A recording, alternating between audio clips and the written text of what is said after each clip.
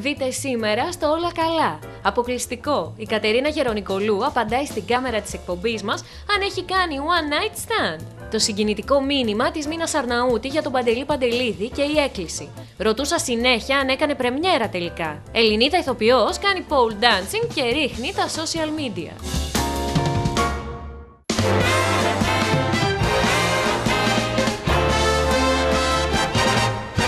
Gotta grab hold of life with all of my might, like each moment just might be my last. Leave my worries behind, well, I still got the time. Leave it all in the past.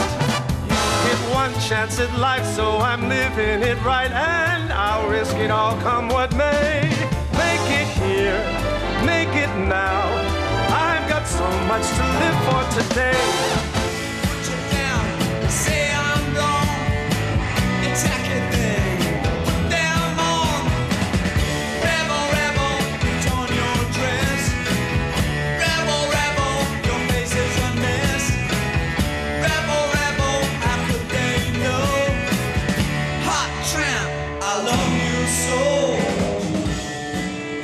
Λίγο με την παγέτα, λίγο με τις πουλιέ μου, κάπως αισθάνθηκα σήμερα. Τι κάνετε, πώς είστε; Καλώς ήρθατε. Παρασκευή σήμερα, η ωραιότερη μέρα της εβδομάδας.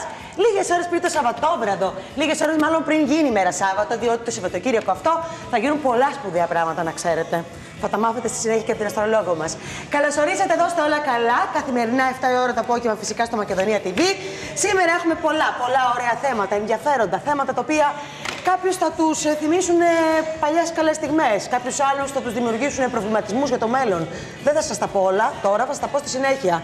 Να σας πω βεβαίως ότι έχουμε μια πάρα πολύ ωραία συνέντευξη από την Κατερίνα τη Γερονικολού, την οποία γνωρίζω και προσωπικά. Θα σας πω μετά πώς, τύπου και γιατί. Μας μίλησε λοιπόν, βρίσκεται στη Θεσσαλονίκη και τη ρωτήσαμε, βασικά η Στεφανία τη ρώτησε, αν έχει κάνει ποτέ στη ζωή της One Night Stand. Ενδιαφέρουσα ερώτηση. και θέλω να δω πώς ρώτησε την Κατερίνα κάτι τέτοιο. Έχουμε επίσης έναν απίστευτο πραγματικά ε, έτσι, εκνευρισμό από τον Γιάννη Τσιμιτσέλη όταν ρωτήθηκε από δημοσιογράφο για τη σύζυγό του, την Βάσο Λασκαράκη, η οποία και βρέθηκε χθες στην εκπομπή της Ελένης Μενεγάκη. Τι έγινε άραγε, τι τον έκανε έξαλλο, θα το δούμε στη συνέχεια. Συγκλονίζει η Μίνα Αρναούτη μέσω του προσωπικού του λογαριασμού στο Facebook, αναφερόμενη διαφορετικά αυτή τη φορά στην ε, μοιραία νύχτα όπου ε, είχε γίνει το τροχαίο και έχασε τη ζωή του ο αγαπημένος τραγουδιστής. Επίσης, κορίτσια, θα μάθετε σήμερα τα πιο sexy μυστικά, τα πιο super styling tips από την editor μας εδώ, τη fashion editor, την Γιώτα την Κουντουρά, έτσι ώστε με τα oversized τα pullover, αλλά και με τα lingerie, τα ισόρουχα, να είσαστε οι ωραιότεροι του χωριού. Σας το υπόσχομαι. Θα καταλάβετε στη συνέχεια τι εννοώ. Αλλά έχουμε και ζώδια, παιδιά, διότι ο Δίας το 2017 φέρνει δώρα, δώρα πολλά για όλους, για τους κρυούς, για τους υδροχώους, για τους ταύρους. Θα τα δούμε λοιπόν αυτά και θα τα μάθουμε για να ξέρουμε και πώς θα κινηθούμε από την αστρολόγο μας, τη Βασιλική Φιλιππά. Στεφανία μου. Πολύ καυτά τα θέματα. Έχω ηθοποιό που κάνει pole dancing και ρίχνει τα social media. Α, Αυτά είναι. Άστο. Να τον δούμε. Άντρα ή γυναίκα. Γυναίκα. Α, γυναίκα, γιατί άντρα ξέρω εγώ. Και ραφτείτε, έρχεται γάμος από πασίγνωστο ζευγάρι τον Ιούλιο. Κι άλλος Της Showbiz. γάμος. Ναι, ναι, θα Ε, το ανέβουν τα 17. σκαλιά. Κρατιόντουσαν το 16. Για να δούμε. Μία ανάσα πριν το Σαββατοκύριακο, αγαπημένοι μου, εμείς είμαστε εδώ να σας ενημερώσουμε για τα νέα της ελληνικής και της έξω από εδώ showbiz.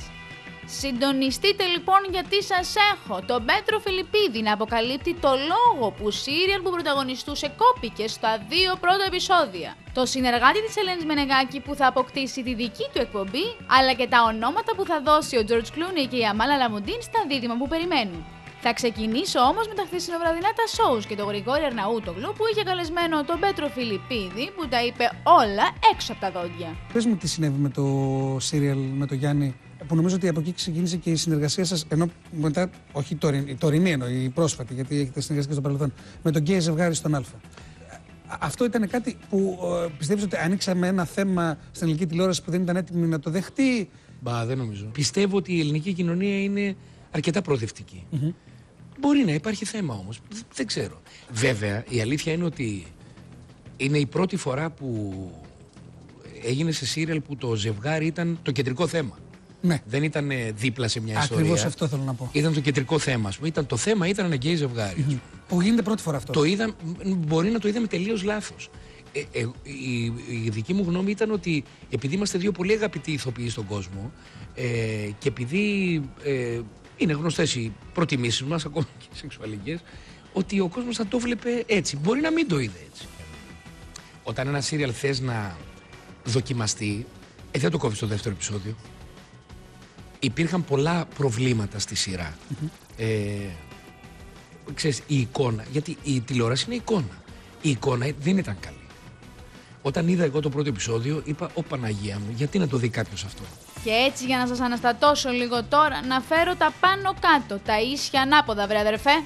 Αυτή είναι η ηθοποιός που αναστάτωσε τα social media. Λόγος για την Νικολέτα Καρά φυσικά, που είναι ξεκάθαρος σε αυτή τη φωτογραφία το πόσο καλά πιάνει το στήλο. Έβει το κορίτσι που γενικά μας έχει συνηθίσει στο αθλητικό στυλ, εσείς στο σπίτι μην το δοκιμάστε σε καμία κολόνα και φάτε τα μούτρα σας. Στην Κωνσταντίνα Σπυροπούλου θα σας πάω τώρα που όποτε βρίσκει ευκαιρία παίρνει και τα βουνά και τα λαγκάδια. Αυτή τη φορά πήρε το Παρίσι και μας ενημέρωσε για το κάθε της βήμα εκεί στη Γαλλία, ανεβάζοντας φωτογραφίες σε ό,τι social media εφαρμογή υπάρχει. Αν μπορείς να το ονειρευτείς, μπορείς να το κάνεις. Έγραψε σε κάποια λεζάντα φωτογραφίες η παρουσιάστρια που και το ονειρεύτηκε και το έκανε πραγματικότητα. Θα αλλάξουμε λίγο διάθεση τώρα και θα πάμε πακέτο με τη Βίκη Χατζηβασιλείου και τις δύο αδερφές που μας συγκίνησαν με την ιστορία τους. Μεγάλωσαν σε διαφορετικές χώρες και η μία ήρθε από την Ολλανδία για να μάθει όλη την αλήθεια για τον πατέρα της. Δεν μπορώ να περιγράψω άλλο πραγματικά. Λέγανε λοιπόν ότι εσείς προκύψατε από τη σχέση του παππού σας με τη μαμά σας. The relationship between your grandfather and your mother. Yeah. Ακριβώς. When a boy said, said it uh, to me, Όταν ένα γόρι μου το είπε, I smacked him and real hard. το χτύπησα πραγματικά πολύ δυνατά. I was really fighting, fighting every time I had to Πάλευα. fight. Κάθε φορά έπρεπε να παλεύω. Because my mother, she was, uh, yeah, and everybody said, no, that's not your mother, that is your Επειδή sister. εγώ your έλεγα η sister." μαμά μου και μου έλεγαν όχι δεν είναι I η was μαμά always σου, είναι η αδερφή fighting. σου. Και πάντοτε that was my πάλευα. mother. Και προσπαθούσα να τους πείσω ότι ήταν η μητέρα μου.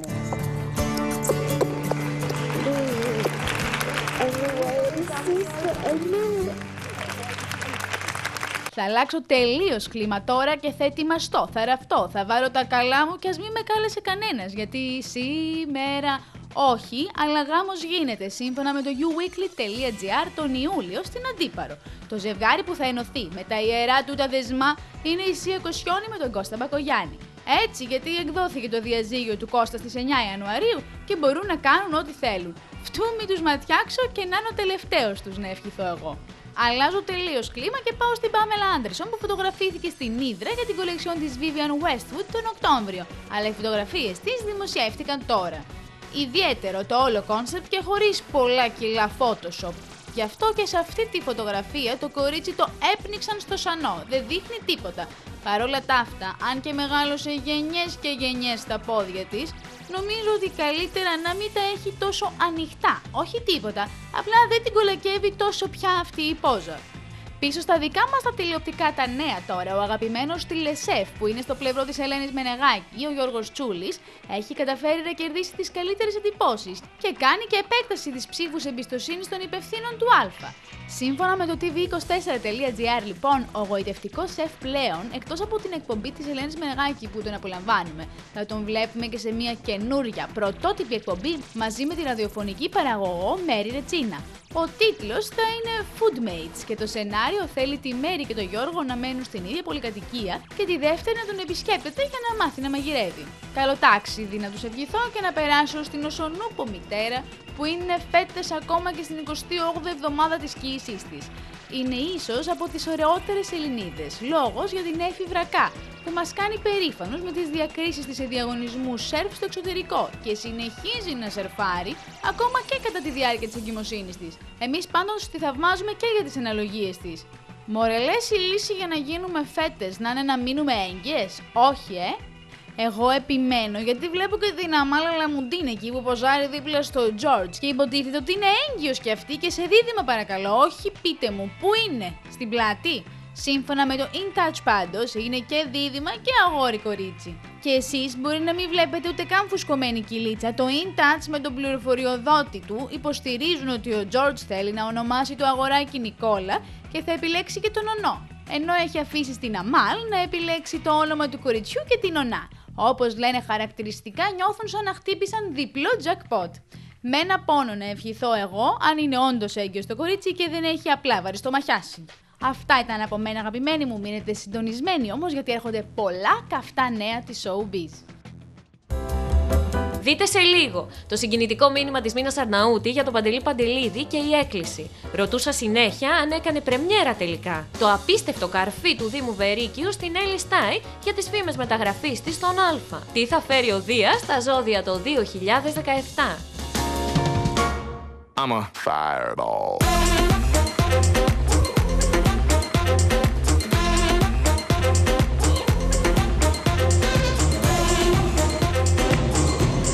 Πάντως, εάν κρίνουμε από αυτά που είδαμε πριν από λίγο, το διαζύγιο του κυρίου Μπακογιάννη βγήκε ξεκάθαρα για να μπορέσει να παντρευτεί τη γυναίκα της ζωής του, έτσι. Εντάξει, ήταν μια ιστορία όμως που κρατούσε χρόνια το να βγει το συγκεκριμένο διαζύγιο. Να πούμε ότι και οι δύο έχουν περάσει από. έχουν δει την εμπειρία του γάμου. Γιατί και η Σία Κοσιόν ήταν παντρεμένη. Οπότε για να το ξανα. Τι συμβαίνει; Δεν ξέρω, κάτι μπήκε εκεί μέσα. Κάτι συμβαίνει στα μαλλιά. Σου φέρε δώρο Δίας, ναι.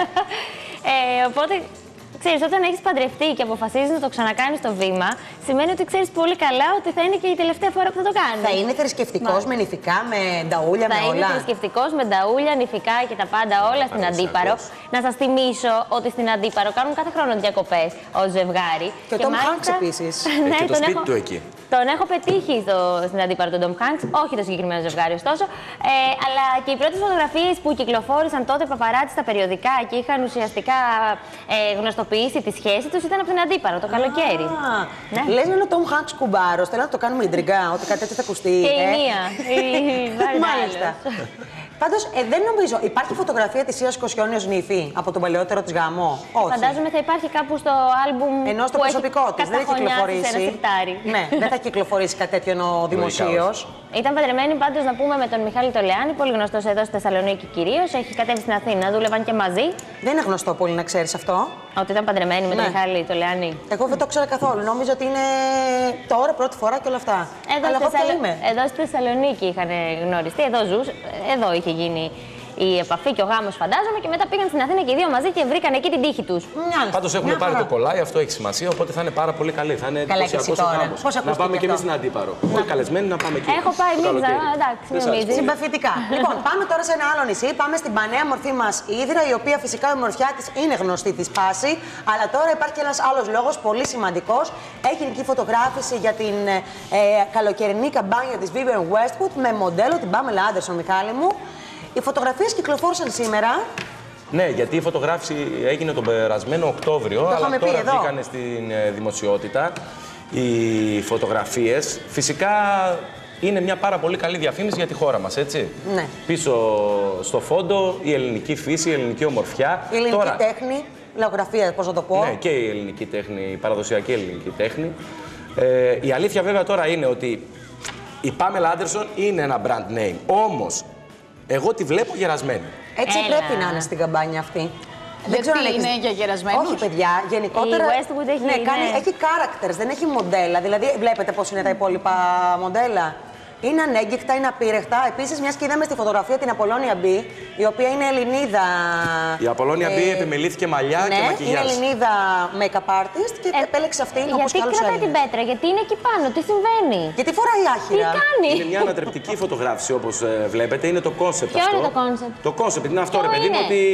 Του τρελού. ε, πετάω την πέτρα, κάθομαι εκεί στην άκρη ενώ είμαι η Πάμελα Άντερσον. Η εκρηκτική έτσι Πάμελα Εντάξει, Άντερσον, γιατί έχει εκρηκτική, μεγαλώσει γενιές και γενιές, έχει απογαλακτήσει άντρες και άντρες. Μαζί με Να τις τα λέμε γενιέ κι και αυτά. γενιέ Να τα λέμε. μεγάλωσε και αυτή όμως. Δηλαδή, εντάξει, δεν Ναι, η ήταν αλήθεια είναι ανάγκη ότι να δω το, μεγάλωσε. το πόδι στο κεφάλι και το άνοιγμα που έχει ακόμη. Να σου οκ. πω, δεν δεν, έχει έχει παίξει, Photoshop. δεν έχει παίξει Photoshop όμως καθόλου, ε. Πιάσα Τίποτα. κόκκινο. Ίσως να χρειαζόταν Δεν λίγο. υπάρχει περίπτωση να τσακωθούμε με Σοφία μου Εντάξει. ποτέ. Μόνο στην εκπομπή καμιά φορά. Λοιπόν, πάμε τώρα να δούμε μια πολύ ωραία συνέντευξη που πήρε η Στεφανία μας από την Κατερίνα Γερονικολού, που είπατε πολύ ωραία πράγματα. Βρίσκεται εδώ για την παράσταση. Σμύρνη μου αγαπημένη. Σμύρνη μου αγαπημένη. Παίρνει και παράταση γιατί πάει πάρα πολύ καλά. Να πάμε να τη δούμε κι εμείς. Εννοείται. Πάμε να δούμε τι μας είπαν ανάμεσα σε άλλα και για το αν έχει κάνει one night stand και επιστρέφουμε να το σχολιάσουμε όλοι μαζί.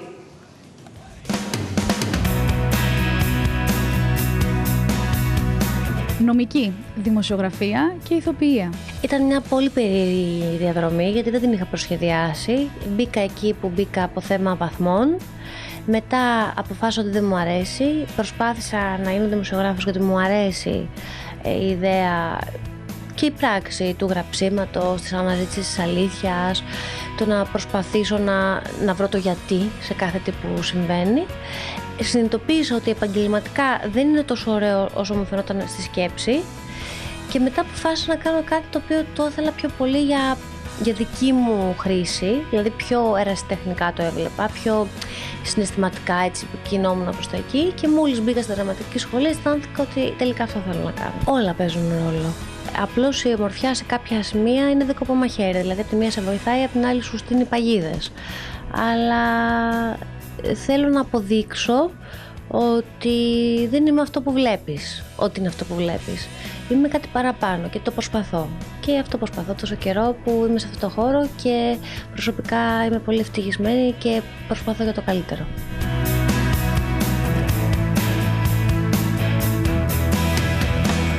Ήσουν καλεσμένη στον Πέτρο Κωστόπουλο και είχες πει εκεί ότι οι γυναίκες, ακόμα και στο one night stand, μπορεί να βάζουν συνέστημα. Αυτό πες μου λίγο, τι εννοούσες; Εννοούσα χω- ότι χωρίς να το έχω κάνει, εγώ πιστεύω ότι μια γυναίκα που ίσως να κάνει one night stand να θεωρεί ότι αισθάνεται πολλά για αυτόν τον άνθρωπο ή ότι το ενστικτό της της λέει ότι αυτός ο άνθρωπος ε, τον έχει επιλέξει για κάποιο λόγο εκείνη τη στιγμή. Ότι μπορεί ακόμα και για τη μία βραδιά να σκεφτεί πιο ρομαντικά. Δεν είναι σαν τον άνθρωπο. Ναι. Ακριβώς. Ότι σκέφτεται. α- Αυτό που είπες εσύ, νομίζω ότι είναι καλύτερη απάντηση από τη δική μου. Ότι, ότι σκέφτεται πιο ρομαντικά ακόμα για κάτι το οποίο ίσως να είναι πιο επιπόλαιο, πιο εφήμερο. Δεν ξέρω πώς γίνεται οι άλλοι να απασχολούν για, τους- για την προσωπική τους ζωή. Εγώ απλώς κάνω τη δουλειά μου και αυτή προσπαθώ να, να μιλάω για αυτή και για μένα είναι ο μοναδικός ε, λόγος εμφάνισης. Έχω την προσωπική μου ζωή, απλώς δεν την εκθέτω ε, έτσι με το έτσι θέλω. Υπάρχει τρόπος δηλαδή και για, τους, για τα άτομα τα οποία είναι στα φώτα της δημοσιότητας να κρατάνε την προσωπική τους ζωή εκτός. Φυσικά. Εκτός τώρα αν είσαι παντρεμένος φαντάζομαι ότι τα πράγματα είναι αλλιώς. Αλλά φυσικά. Όσον αφορά τους συντρόφους ή όποιον είναι δίπλα σου, ακόμα και τους φίλους, έχει μεγάλη διαφορά όταν είναι εκτός χώρου ή όταν είναι από το χώρο, είναι καλύτερα γιατί μπορούν να καταλάβουν κάποια πράγματα, όπως τα ωράρια, όπως όλες αυτές τις πρόβες που κάνει. Νομίζω ότι έχει να κάνει με το χαρακτήρα του ανθρώπου. Δηλαδή, μπορεί κάποιος να είναι από τον ίδιο χώρο και να μην θέλει να καταλάβει τίποτα και ποτέ. Και αντίστροφα να μην είναι από το χώρο και να καταλαβαίνει τα πάντα και να έχει κατανόηση. Νομίζω ότι έχει σημασία ο χαρακτήρας πάρα πολύ σε αυτά τα ζητήματα και αν θέλεις να είσαι με κάποιον, είσαι. Και κάνεις τα πάντα για να είσαι και σε συμβιβασμούς και υποχωρήσεις προκειμένου να είσαι. She's a lady.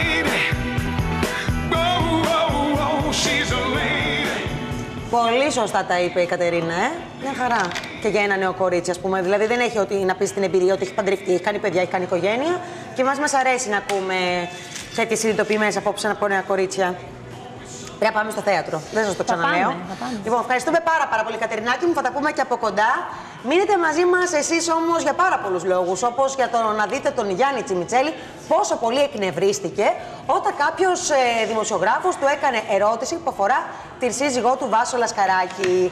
Επίσης, θα δούμε κάτι το οποίο μας συγκλώνησε, μας στεναχώρησε. Ελληνίδα ηθοποιός αποκάλυψε ότι ένας σύντροφός της παραλίγο να τη στραγγαλίσει. Συγκλονιστικό. Θα δούμε βεβαίως και τι, ποια είναι η τελευταία δήλωση της Εμίνας Αρναούτη, η οποία είναι πραγματικά συγκλονιστική. Αφορά εκείνο το βράδυ, το μοιραίο βράδυ, μάλλον το μοιραίο ξημέρωμα θα μπορούσαμε να πούμε. Και είναι κάτι διαφορετικό από αυτά που έχει συνηθίσει να λέει και να γράφει μέχρι και σήμερα στα social της. Πάμε τώρα εμείς να κάνουμε ένα ταξίδι στο χρόνο. Όχι πολύ παλιά. Δεν χρειάζεται. Ο Στάν είναι ένα νέο παιδί άλλωστε. Αλλά η αλήθεια είναι ότι μας έχει εντυπωσιάσει αρκετές φορές με τις αλλαγές που έχει κάνει στο στυλ και στην εμφάνισή του.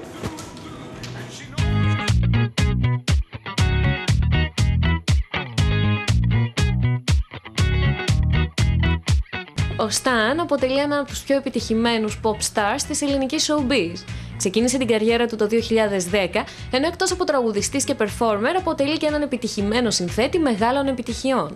Στα πρώτα του βήματα, το στυλ του ήταν αρκετά νεανικό, με επιλογές από φόρμες, χαλαρά χαχόλικα t-shirts και hip-hop αξεσουάρ, όπως καπέλα και κουκούλες. Σιγά σιγά βρίσκει το στυλ του, εγκαταλείπει τις πολύ αθλητικές επιλογές και αρχίζει να προτιμάει περισσότερο τζιν σε ανοιχτούς ή και σκούρους χρωματισμούς, καθώς και πουκάμισα με γυριστά μανίκια σε λευκό, μαύρο ή και μπλε χρώμα. Στα μαλλιά του επιλέγει το κοντό μήκος με έντονη φράτζα, ενώ ορισμένες φορές τα ξυρίζει. Τολμάει μάλιστα να τα βάψει μέχρι και σε ξανθό σαντρέ χρώμα.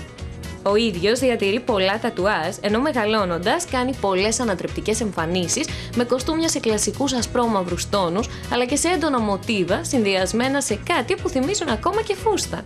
Φυσικά δεν ξεχνάει και τη ροκ πλευρά του με τα αμάνικα φανελάκια, δερμάτινα jackets και χαλαρά t-shirts με στάμπες και ανοιχτό βε.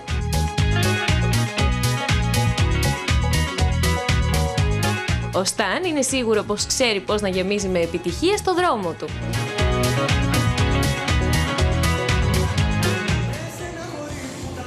Τι ωραία τραγούδια όμως. Τρελαίνουμε. Αντρέα, δυνάμωσε. Ο Σταν. Ναι. Πες, Σοφία μου, πες. Ο έρωτας σου αλήθης, και εσύ δεν έρχεσαι.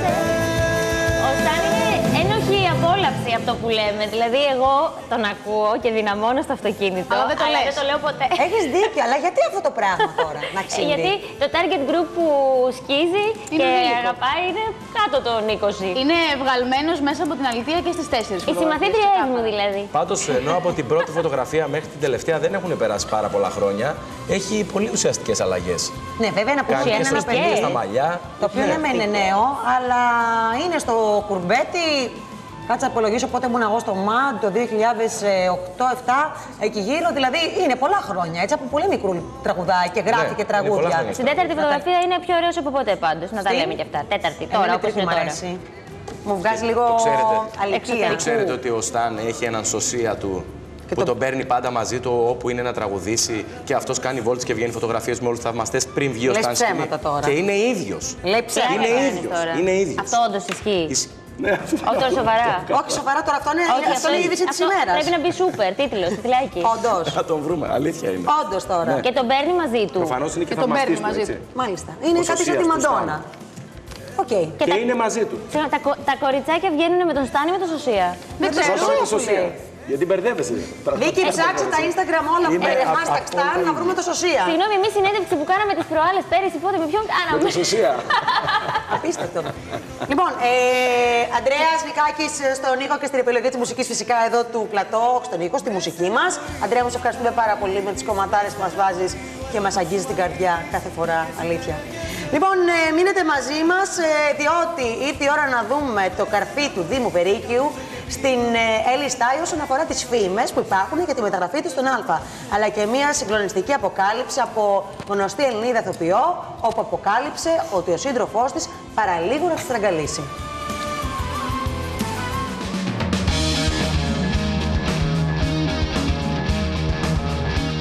Καλησπέρα και καλώς ήρθατε στα πιο απολαυστικά και ενδιαφέροντα νέα της ελληνικής και ξένης showbiz. Μείνετε συντονισμένοι γιατί σας έχουμε τον έντονο εκνευρισμό του Γιάννη Τσιμιτσέλη on camera, αλλά και σας ξεναγούμε στο πιο κλειδάτο σπίτι που βγήκε ποτέ προς πώληση. Ξεκινάω με λαχταριστά νέα της Eurovision και την Demi, η οποία για πρώτη φορά μίλησε για τη συμμετοχή της, αλλά και το Dream Team που θα την συνοδεύσει. Έχουμε ξεκινήσει με πολύ καλές προδιαγραφές, η ομάδα είναι τρομερή. Ε, είναι χαρά μου και τιμή μου και, και απαραίτητη προϋπόθεση τόσα χρόνια για να φτάσω τελικά να πάω κάποια στιγμή στη Eurovision. Η καλή μου φίλη, ο Δημήτρης Κοντόπουλος και ο Φωκάς Ευαγγελινός, που είναι η ομάδα μας, που είναι το Dream Team, που έχει πάει τόσες φορές καλά στη Eurovision και είναι μεγάλη χαρά για μένα. Δεν είμαι από τους φανατικούς, αλλά τώρα καταρχάς ε, κάνω την έρευνά μου και στα παλιότερα χρόνια. Αλλά έχουν υπάρξει χρονιές που έχω παρακολουθήσει και την ελλη- ελληνική συμμετοχή με μεγάλη συγκίνηση και δέος. Μία δικηγόρος που παύλα τραγουδίστρια που θα κερδίσει τη Eurovision. Ε, είναι ωραία ιστορία, μου αρέσει, ωραία ιστορία. Για την Eurovision μίλησε και η Πάολα για την επιλογή της να μην ακούει ελληνική μουσική, αλλά και τι απαντά στις φήμες που τη θέλουν στην κριτική επιτροπή του X Factor. Όχι, μωρέ, τώρα είναι δυνατόν, όχι. Αυτό που το κάνουν, ε, δουλειά είναι και αυτό. Απλά μάλλον εγώ το παίρνω κάπως διαφορετικά και δεν, δεν μπορώ να κρίνω, ναι, αυτό είναι. Όχι, τα δικά μου δεν τα ακούω ποτέ. Δεν ακούω ε, ε, ελληνικά ε, και αν ακούω, ακούω ε, δύο-τρεις καλλιτέχνες. Εσείς θα θέλετε κάποια φορά να πάτε, κάποια στιγμή να πάτε στη Όχι, Eurovision; όχι. Πρέπει να με γνωρίσετε και δεν θα με ξαναρωτήσετε ποτέ τίποτα. Απλά δεν, δεν θέλω να λέω ότι δεν, δεν, γιατί ε, υπάρχουν άνθρωποι που πάνε και πολύ καλά κάνουν και πάνε και ε, όλα καλά. Ε, ε, Εγώ είμαι λίγο αλλιώς. Γενέθλια είχε το sex symbol Δήμητρα Ματσούκα, που δεν θέλει να αυτοποκαλείται και sex symbol, και οι συντελεστές της παράστασης Ωραία μου κυρία, όπου πρωταγωνιστεί. Μαζί με την αδερφή της Μαρία, της έκαναν λοιπόν έκπληξη στη σκηνή, παίρνοντά της τούρτα γενεθλίων.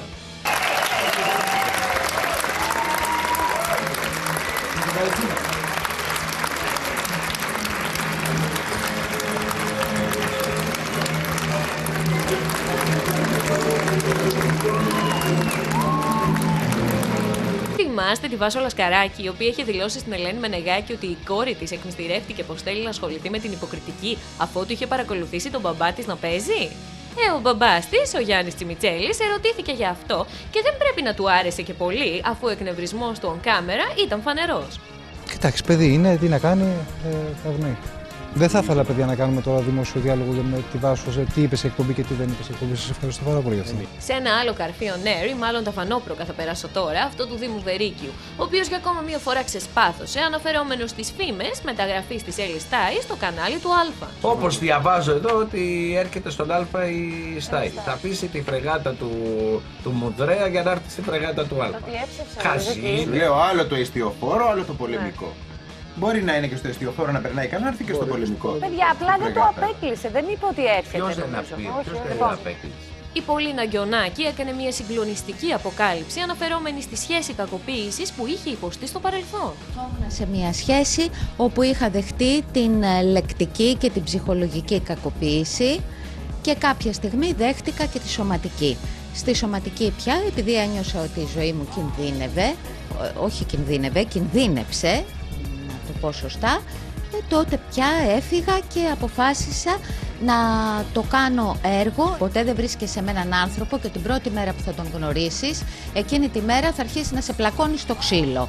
Αρχίζει καταρχάς να σε προσβάλλει. Μετά αρχίζει η συναισθηματική κακοποίηση, να σου λέει ότι δεν έχεις κανέναν άλλον στον κόσμο. Σε κάνει να εξαρτάσαι αποκλειστικά από εκείνον. Προσπάθησε να με στραγγαλίσει και άνοιξε και το κεφάλι μου από χτύπημα.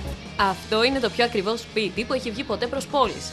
Βρίσκεται στο Λος Άντζελες και η τιμή του έχει οριστεί στα 250 εκατομμύρια δολάρια. Το σπίτι περιέχει πολλά περισσότερα δωμάτια από μία μέση βίλα, ενώ ο ιδιοκτήτης του και επιχειρηματίας Μπρουζ Μακόφσκι ονειρευόταν να συνδυάσει την άνεση αλλά και το lifestyle στο υπερπολιτελέ οίκημα. Νεκρή βρέθηκε η Βραζιλιάνα τραγουδίστρια Λάουρα Μπράις Βιέρα, η ερμηνεύτρια της διεθνούς επιτυχίας Λαλαμπάντρα. Η Λάουλα εντοπίστηκε αποθρακωμένη στο αυτοκίνητό της στις ακτές της περιοχής του Ρίο Ντετζανέιρο. Το μόνο ενοχοποιητικό στοιχείο που έχει αποδώσει η έρευνα μέχρι στιγμής είναι η παρουσία δύο ένοπλων ανδρών κοντά στην οικία της τραγουδίστριας εκείνη τη νύχτα. Η Βούλα Πατουλίδου βρέθηκε καλεσμένη στη Ζήνα Κουτσελίνη και οι δυο τους μίλησαν για τι πλαστικέ χειρουργικές επεμβάσεις. Εκείνη ήταν τρέλα δική μου, καθαρή. Γιατί την κάνεις; Ε, γιατί ε, το συνδυάζεις. Πας για το διάφραγμα και διορθώνεις και οτιδήποτε άλλο. Και εγώ έχω κάνει το ίδιο. Γι' αυτό και σε ρωτάω. Έτσι λένε, θα ρωτάς τον άλλον εκεί που αντέχεις και εσύ να σου πει Ναι, κι άλλο. όχι, είτε υποτίθεται το διάφραγμα και λέει αυτό το, αυτή η καμπουρίτσα η μικρή που ναι, είναι η αγωνιστική, αλλά εμένα μου αρέσει πιο μικρή κανάλατη, μπορώ μαζί ταυτόχρονα.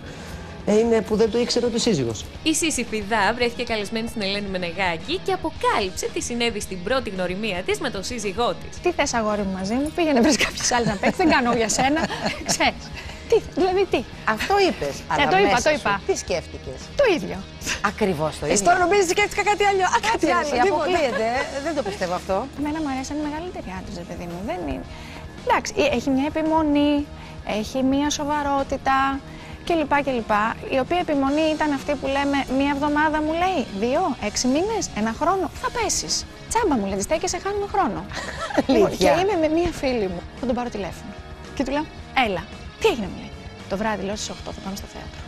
Γεια. Θέλω Αυτό να ήταν το πάρεις». πρώτο σου ραντεβού στο θέατρο. Ναι.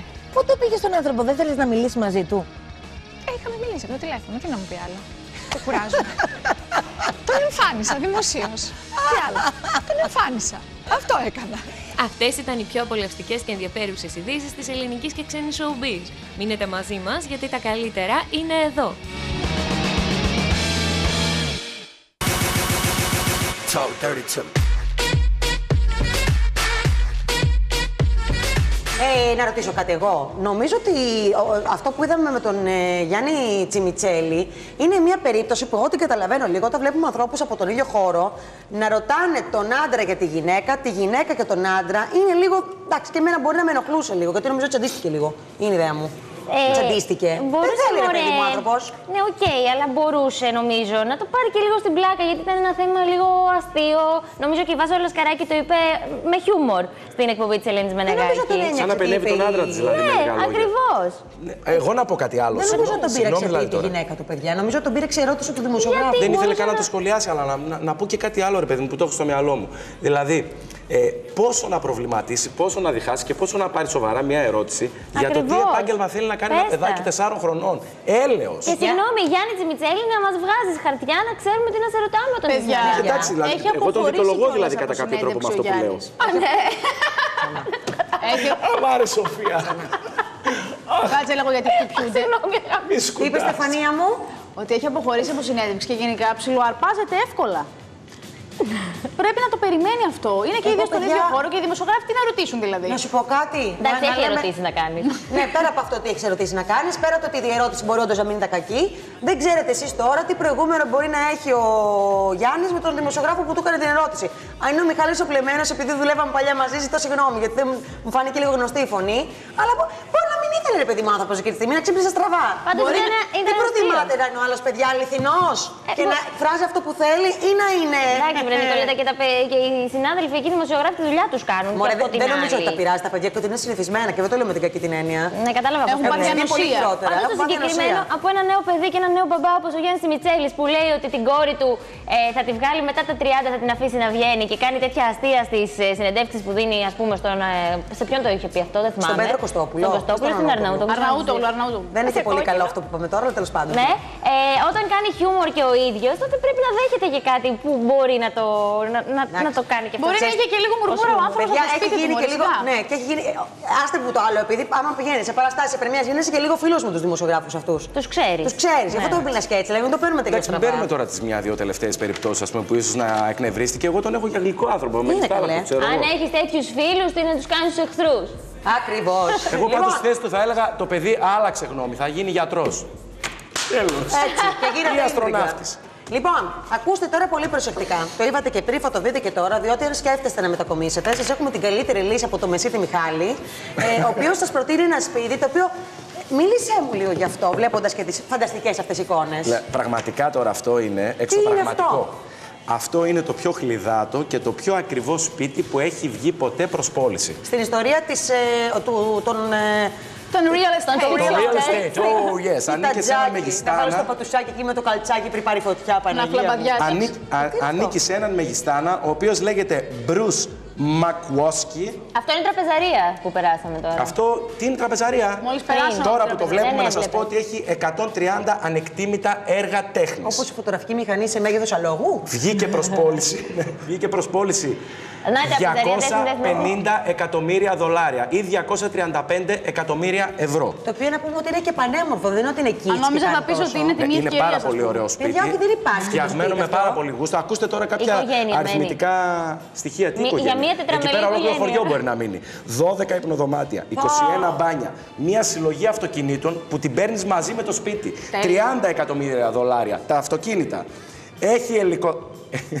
Τα, τα αυτοκίνητα Αυτός πηγαίνουν σου έκανε σε. εντύπωση. Ναι, πηγαίνουν μαζί με το Δηλαδή σπίτι. τώρα ο ιδιοκτήτης του σπιτιού αυτού με τα, και των αυτοκινήτων Τώρα δεν θα αυτό θα έχει μείνει να με ένα οδηγεί. ποδήλατο να κυκλοφορεί. Α, Ο Μεγιστάνας. Με τα πόδια. Έχει ελικοδρόμιο με ελικόπτερα. Ήδη να σε περιμένουν με Ελικοδρόμιο. το που θα το αγοράσεις. Άρα παίρνεις Έχει και τα ένα ελικόπτερα. δωμάτιο φτιαγμένο με ε, ζαχαρωτά γύρω-γύρω. Τρώγεται. Με προθήκες με προθήκες ζαχαρωτών Με και με προθήκες ποδοσφαιράκια. ζαχαρωτών. Έχει αίθουσα bowling. Έχει. Ξέρω τι να πω. Έχει αίθουσα κινηματογράφου. Και πού βρίσκεται; Πού; Βογατσκού με τσιμισκή εδώ πέρα. στο Άντε, Ρεκύρε. καλή τώρα, παράτα μας. Στον Μπέλε. Σκέφτομαι- Στον Μπελέ, σκέφτομαι να πάω να το δω μετά. Είχαμε ιστορικό μαγαζί εδώ στη Φυσικά Θεσσαλονίκη στην κήπους, Μπελέτ. πισίνες. Αυτό τι είναι, ρε Μιχάλη. Αυτά το είναι τα μηχάνημα; έργα τέχνης. Το ωραίο. Το κρέας. Έργα τέχνης, έργα Α, τέχνης. συγγνώμη, νόμιζα Είχε ότι φωτογραφική είναι- μηχανή, Ε, πάντως, είχε φιλοξενούν κόφτη κρεάτων. κόσμο από ό,τι είδα στην τραπεζαρία. Πολλές οι θέσεις. Χωράνε. Πρόκειται χωράνε, κυριολεκτικά βέβαια. πάντως για ένα παλάτι, έτσι. Ένα σπίτι Παιδιά, Πολύ το λίγοι πωλείτε, άνθρωποι ε. μπορεί να το αγοράσουν. Παιδιά, εγώ δεν τα θέλω αυτά τα, τα λούσα, αλλά νομίζω δεν έχω δει Εγώ κάτι μπο- καλύτερο. Εδώ ο Αντρέας έπρεπε να βάλει το πολίτη όπως είναι επιπλωμένο. Πάντως να σας πω και κάτι άλλο. Ε, αυτά τα πράγματα, ένα τέτοιο σπίτι, ας πούμε, δεν είναι ανάγκη να το ζηλεύουμε. Έτσι, Όχι. να το θαυμάζουμε, να το συζητάμε και άντε τέλος πάντων να εμπνεόμαστε για τα δικά μας Δεν όνειρα. είναι ανάγκη να του ζηλεύουμε. Ναι, άμα μου λέγανε να μείνω εκεί, θα έλεγα Όχι, μωρέ, θέλω Εγώ το δεν θα δικό μου. έμενα, αλήθεια. Ποιος το καθάρισε καταρχήν. Τώρα αυτό; μην προκαλώ την Θα είχα τύχη μου προσωπικό. αρνητικά. Γιατί δεν ξέρεις Εγώ τι πάντως φέρνει η θα ζωή. προτιμούσα να το έχεις εσύ και να έρχομαι επισκέπτρια παρά να το έχω δικό μου και απλό να Ξέρεις τι έξοδα συντήρησης έχει αυτό το σπίτι. το λέω. Άσε που θα χανόσασταν. Λοιπόν, ε, μείνετε μαζί μας γιατί πέρα από τόσο ωραίες εικόνες, γιατί το να βλέπεις μια ευχάριστη εικόνα δεν σημαίνει να είναι δικό σου ή δικό του αλλού. Σημασία έχει ότι μπορούμε να ονειρευόμαστε, παιδιά. Γιατί τα όνειρα είναι που είπε ο κύριος τσάμπα. Κατσάς. Και μπορεί να στο φέρει και ο Δίας στο σπίτι. Μπράβο, Βίκυ μου, διότι σήμερα στην παρέα μας, συγγνώμη, θα είναι η Βασιλική Φιλιππά και θα πει για όλα τα ζώδια τι δώρα θα φέρει ο Δίας. Επίσης, θα μάθουμε όλα τα μυστικά για το πιο σεξ συνδυασμό του χειμώνα, διότι κορίτσια μου, το λινζερί δεν είναι πλέον μόνο για το σπίτι, είναι και για έξω. Ελπίδες για ενισχυμένη θεραπεία του AIDS. Παιδιά, είναι πάρα πολύ σοβαρό αυτό το θέμα και πολύ ενδιαφέρον. Χάρη σε Έλληνα επιστήμονα. Ο κύριος που βλέπετε στη φωτογραφία θα μας τα πει όλα στη συνέχεια το σοφάκι μας. Επίσης, θα δούμε μια διαφορετική έτσι, ας πούμε, προσέγγιση της Μίνας Αρναούτη από αυτά που μας έχει συνηθίσει ε, στον προσωπικό του λογαριασμό στο Facebook που πραγματικά συγκλονίζει και φυσικά αφορά ε, τη βραδιά του μοιραίου τροχαίου. Λοιπόν, ήρθε η ώρα του Μιχάλη να παίξουμε. Τι θα παίξουμε, Τις κουμπάρες. Ντρεπή.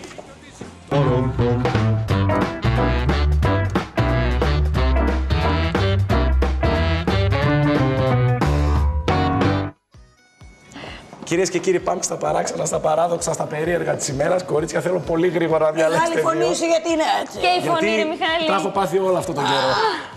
Η Περαστικά. Κινέζα με ένα περίεργο, με ένα πρωτότυπο χόμπι. Με τι μπορεί να τράκαρε ο μοτοσυκλετιστής. Φαίνεται; σκύλο. Δεν λέω. Αν το επιλέξετε θα δείτε. Είναι εντυπωσιακό, είναι περίεργο. Αναπάντεχο. Η ηλικιωμένη κυρία σε τι προσευχότανε για πάρα μα πάρα πολλά χρόνια; Ο Αυτή είναι η καθένας- ηλικιωμένη κυρία ή αυτό που προσευχόταν. Όχι, είναι αυτό που προσευχόταν. Α, Αυτό τι δεν θα κάνει για τρελαθώ. ηλικιωμένη κυρία, έλεος. Ωραία. Πάντως αυτό προσευχόταν. Και ο Ηρακλής από το Πακιστάν. Μμμ. Κορίτσια, περιμένω Να τις πω- εκλογές Μπορώ. σας. Πες, πες. Εγώ θα διαλέξω τον Ταύρο γιατί είμαι και Ταύρος και θα μου φέρει πολλά δωροδίας. Πού το ξέρεις ότι είναι τάβρος, ας πούμε; Δεν Πέρασε είπε. από το μυαλό της, ρε παιδί μου, Ταύρος Δεν στο το είπε. Ιαλοπολείο, που δεν είναι στο Ιαλοπολείο. Δεν είναι Ταύρος, άλογο είναι. Εγώ για σκύλο το έβλεπα. Α, πολύ μεγάλο για σκύλο. Σε σκύλο μεγα... για σκύλο Ας δούμε μεγάλο. τι είναι Και λοιπόν. να, και να δούμε και για την ε, ηλικιωμένη θέληση Ναι. Στεφανία. Συγχωρέστε με. Περαστικά, Μιχαλάκη μας, αγαπάμε. Δεν έχω να σας πω πολλά. Θέλω να δείτε το βίντεο. Αυτό που θα ακολουθήσει τώρα, κύριε σκηνοθέτα. Ο άνθρωπος αυτός οδηγεί με, με, με το μηχανάκι του στους δρόμους της Ινδίας και πέφτει πάνω του ένας τάβρος. Δηλαδή, αυτό είναι απίστευτο. Δεν μπορείς να το περιμένεις. Παιδιά, αυτό είναι Πνίγομαι.